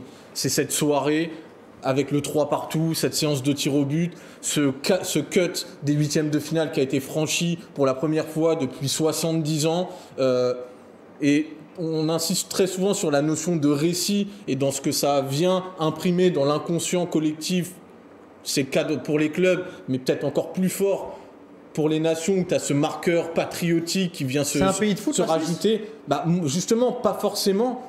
Il y a un vrai engouement là-bas. Mais Parce que ça peut créer peut-être mais quelque c'est là, où- là je veux en venir, c'est que je me dis que si ça se trouve, il y a des mômes aujourd'hui, ils ont 10 ans, Je sais pas, ils se sont mis devant le match, Ouais. et peut-être que bah, dans 10 ans, La nouvelle génération. non là, mais tu vois, c'est peut-être pas tout de suite que ça va euh, euh, générer, que ça va pas, que ça va. C'est pas évident que ce soit un pays de foot, mais c'est quand même un pays qui a une culture footballistique Oui, qui est présente. Ils ont, voilà. ils ont des, ils ont des oui, grands clubs, des- des. C'est pour ça que je dis, euh, pas, non mais quand on, pense foot, on pense pas tout de suite à la Suisse, mais c'est une équipe qui, est quand même inscrite dans cette tradition a européenne. jamais voilà. mis personne dans la rue en Suisse. Voilà. Mais c'est pas Là, je pense qu'ils sont descendus. Donc, tu vois, dans tout ce que ça crée, dans tes souvenirs, qui sont pas uniquement des souvenirs liés au foot, mais à ce que tu as partagé, à ce que ça a suscité comme joie. Je veux dire, c'est comme ça aussi que, que naissent les vocations, que euh, les choses aussi euh, Non, peuvent naître. Donc moi, je, je- moi Même au-delà de ce qu'ils ont... un grand chelem de Federer Et même- Wawrinka, je suis les mecs qui sont pas dans la rue. Ils vont pas klaxonner. Même la Coupe Davis euh, qu'ils ont gagné à. Lille, euh, ils étaient contents, mais je pense pas qu'ils sont descendus en klaxonnant. Bah, après, qui c'est, te- après c'est- je pense que c'est la force de l'habitude avec Federer depuis des années. Maintenant, ils ont. Oui, mais même, même, même quand t'as. Sont embourgeoisés un peu même t'as un joueur de tennis qui gagne, tu vas pas aller euh, Non, et surtout, cette équipe il y a- beaucoup de joueurs qui ont une binationalité, souvent, en tout cas sportive, qui peuvent du coup aller ailleurs. Et c'est vrai qu'effectivement, ça peut fédérer dans l'envie de jouer pour cette Nati pour, euh, pour, euh, pour, pour la Suisse. Euh, pour la suite, pardon. Euh, lapsus, euh, lapsus qui, qui, qui est pas si, pas si éloigné. Euh, on a tout dit sur cette équipe suisse, on a été court. On était, on était Euh, complet, je trouve, moi. Ouais, on a été complet, mais on, on s'excuse parce que, faut le dire, quand tu es supporter suisse, sur les deux derniers débriefs qu'on a fait, il y a à peu près 5 heures d'émission, il y en a 10 minutes sur la Suisse. Mais on a été complet, effectivement. Bel euro, en tout cas, pour les Suisses qui terminent euh, avec leur meilleure prestation de ces dernières années. Et d'ailleurs, vous parliez il y a quelques instants de la soirée folle qu'ils ont dû vivre à Bucarest lundi. Je vous invite à aller la voir, d'ailleurs, sur la chaîne du Club des 5. Il y a ce petit COP euh, CD5 de notre ami Qui nous fait vivre le match euh, Honnêtement, hon- honnêtement, depuis Bucarest. honnêtement, c'est mérité. Enfin, c'est mérité dans le sens, moi je pense que dans, dans le football, il faut que tout le monde croque. Sincèrement. Non, mais fa- façon de parler, mais sincèrement. Et, et moi, je trouve à un moment donné, ben, c'est mérité. S'ils peuvent croquer. euh, sur- Oui, bon, voilà, ils ont, ils ont croqué sur S'ils peuvent mais- croquer sur d'autres équipes, du coup, mais- ça m'arrange. Mais, moi, mais il faut que tout le monde hein. profite. Bah oui. Sincèrement, il faut que tout le monde profite. Ouais, mais on a un business à faire tourner, nous. C'est ce que, tu disais à minuit Non, Non, j'étais non, dégoûté, mais en, tant que supporter, mais après coup, à, froid, bah, il, il- voilà, il faut quand même. euh, T'as fait le deuil de cette élimination? Non. Je suis toujours peiné, mais c'est normal, parce que je suis amoureux de l'équipe de France. C'est pas ce que tu me disais cet après-midi pourtant. Euh, mais bon, oui, oui, j'ai envie de balancer. Mais c'est pas grave, on peut évoluer, on peut évoluer, même, même en quelques heures. Les socios, merci d'avoir été avec nous. En tout cas, c'est la fin de cette émission. Merci Walid, merci Samy. Merci à toi, Sam. Merci Tidani, on va conclure vite parce que là, le monsieur, je crois qu'il Ouais, est, ouais. il, va, il va partir avant le générique, je crois. Euh, J'aimerais remercier les équipes du Mais Club attendez, des mais juste, je vais vous dire un truc parce que je vais demander. Là, en fait, il part à une soirée entre potes. Ouais. D'accord? Et nous, quand on l'a invité non. pour l'anniversaire d'Elton il Mokolo est et pas 100 venu. k il est pas venu. Et je vous c'est à vomir ce qu'il ce que Il est fait. C'est- Alors que tout le monde est venu. Même Dominique Baïf, il est venu du Venezuela pour venir. Il a quitté, il a quitté la Copa pour Et- venir. euh, Exactement. Non mais c'est Il honteux. Et là, je- moi tu sais, je lui envoie. Parce que moi je dis tout, aux- je dis tout. C'est un je dis, je dis tout aux socios. Je lui envoie un petit message. Je lui dis mais pourquoi tu dois partir? T'as une urgence, euh, etc. Il y a un problème familial, etc. Il me fait non non, il y a un- une soirée entre potes là, je suis en retard. Et moi je lui envoie. T'es à vomir. Sachez qu'il y a, Je dis que j'envoie. t'es- T'es à vomir. Il n'y a pas que Salut Machtabi qui veut partir, il y a aussi Antoine Le Breton. Je peux vous dire Ah, que ah dans mon oreillette depuis Ah oui, lui tout à l'heure, c'est euh, c'est un pas pour la même bourdonnement. raison. Lui C'est aussi, il a, il a un concours de mots fléchés à 1h30. euh, Non, non, lui, il a envie de rentrer. Ah non, il a juste envie de rentrer. Il y, a, un replay de sa série. Donc, Il veut faire des est sudoku Cet dans homme son de lettres Ah, que c'est- j'adore. Cet homme de lettres. Cet homme de lettres, tout à fait. Euh, merci à lui, justement, Antoine Le Breton et ses équipes d'avoir préparé cette émission ce soir. Seb Ferreira, Barnabé Deveau, Sam Zaguri, Monsieur Marlon Nosser. Un grand merci à notre réalisateur, à l'homme technique du Club des 5, le leader technique du Club des 5, Vincent Fournier, bien évidemment. Et les réseaux sociaux étaient gérés, et ce soir par El Grandé, Benjamin Garnier, qui était votre relais sur le chat. Merci donc à tous les trois. Merci à tous les socios qui étaient présents euh, sur le chat. Vous étiez nombreux, amis belges, amis suisses, amis espagnols et italiens. Amis belges. Amis espagnols et italiens. Qu'on vous retrouve, euh, qu'on retrouve d'ailleurs dès mardi pour la confrontation entre les deux en demi-finale de l'Euro, bien sûr, débriefé dans le Club des 5. On se dit à demain. Demain, les paris, 17h30, Winamax. On sera là pour le, le- le Club des 5. Et on se retrouve pour un seul débrief demain. On va pas prendre de risques comme aujourd'hui, parce que sinon, euh, euh, voilà, on va, C'est dans, l'organisation, ça nous fout le bordel avec les prolongations. Donc on va se dire, on fait un seul débrief demain 23h. On sera avec vous, avec une très belle équipe. Passez une très bonne nuit, une très bonne soirée, les socios. Et rendez-vous demain. Ciao, on vous aime. 5. Ciao. Ciao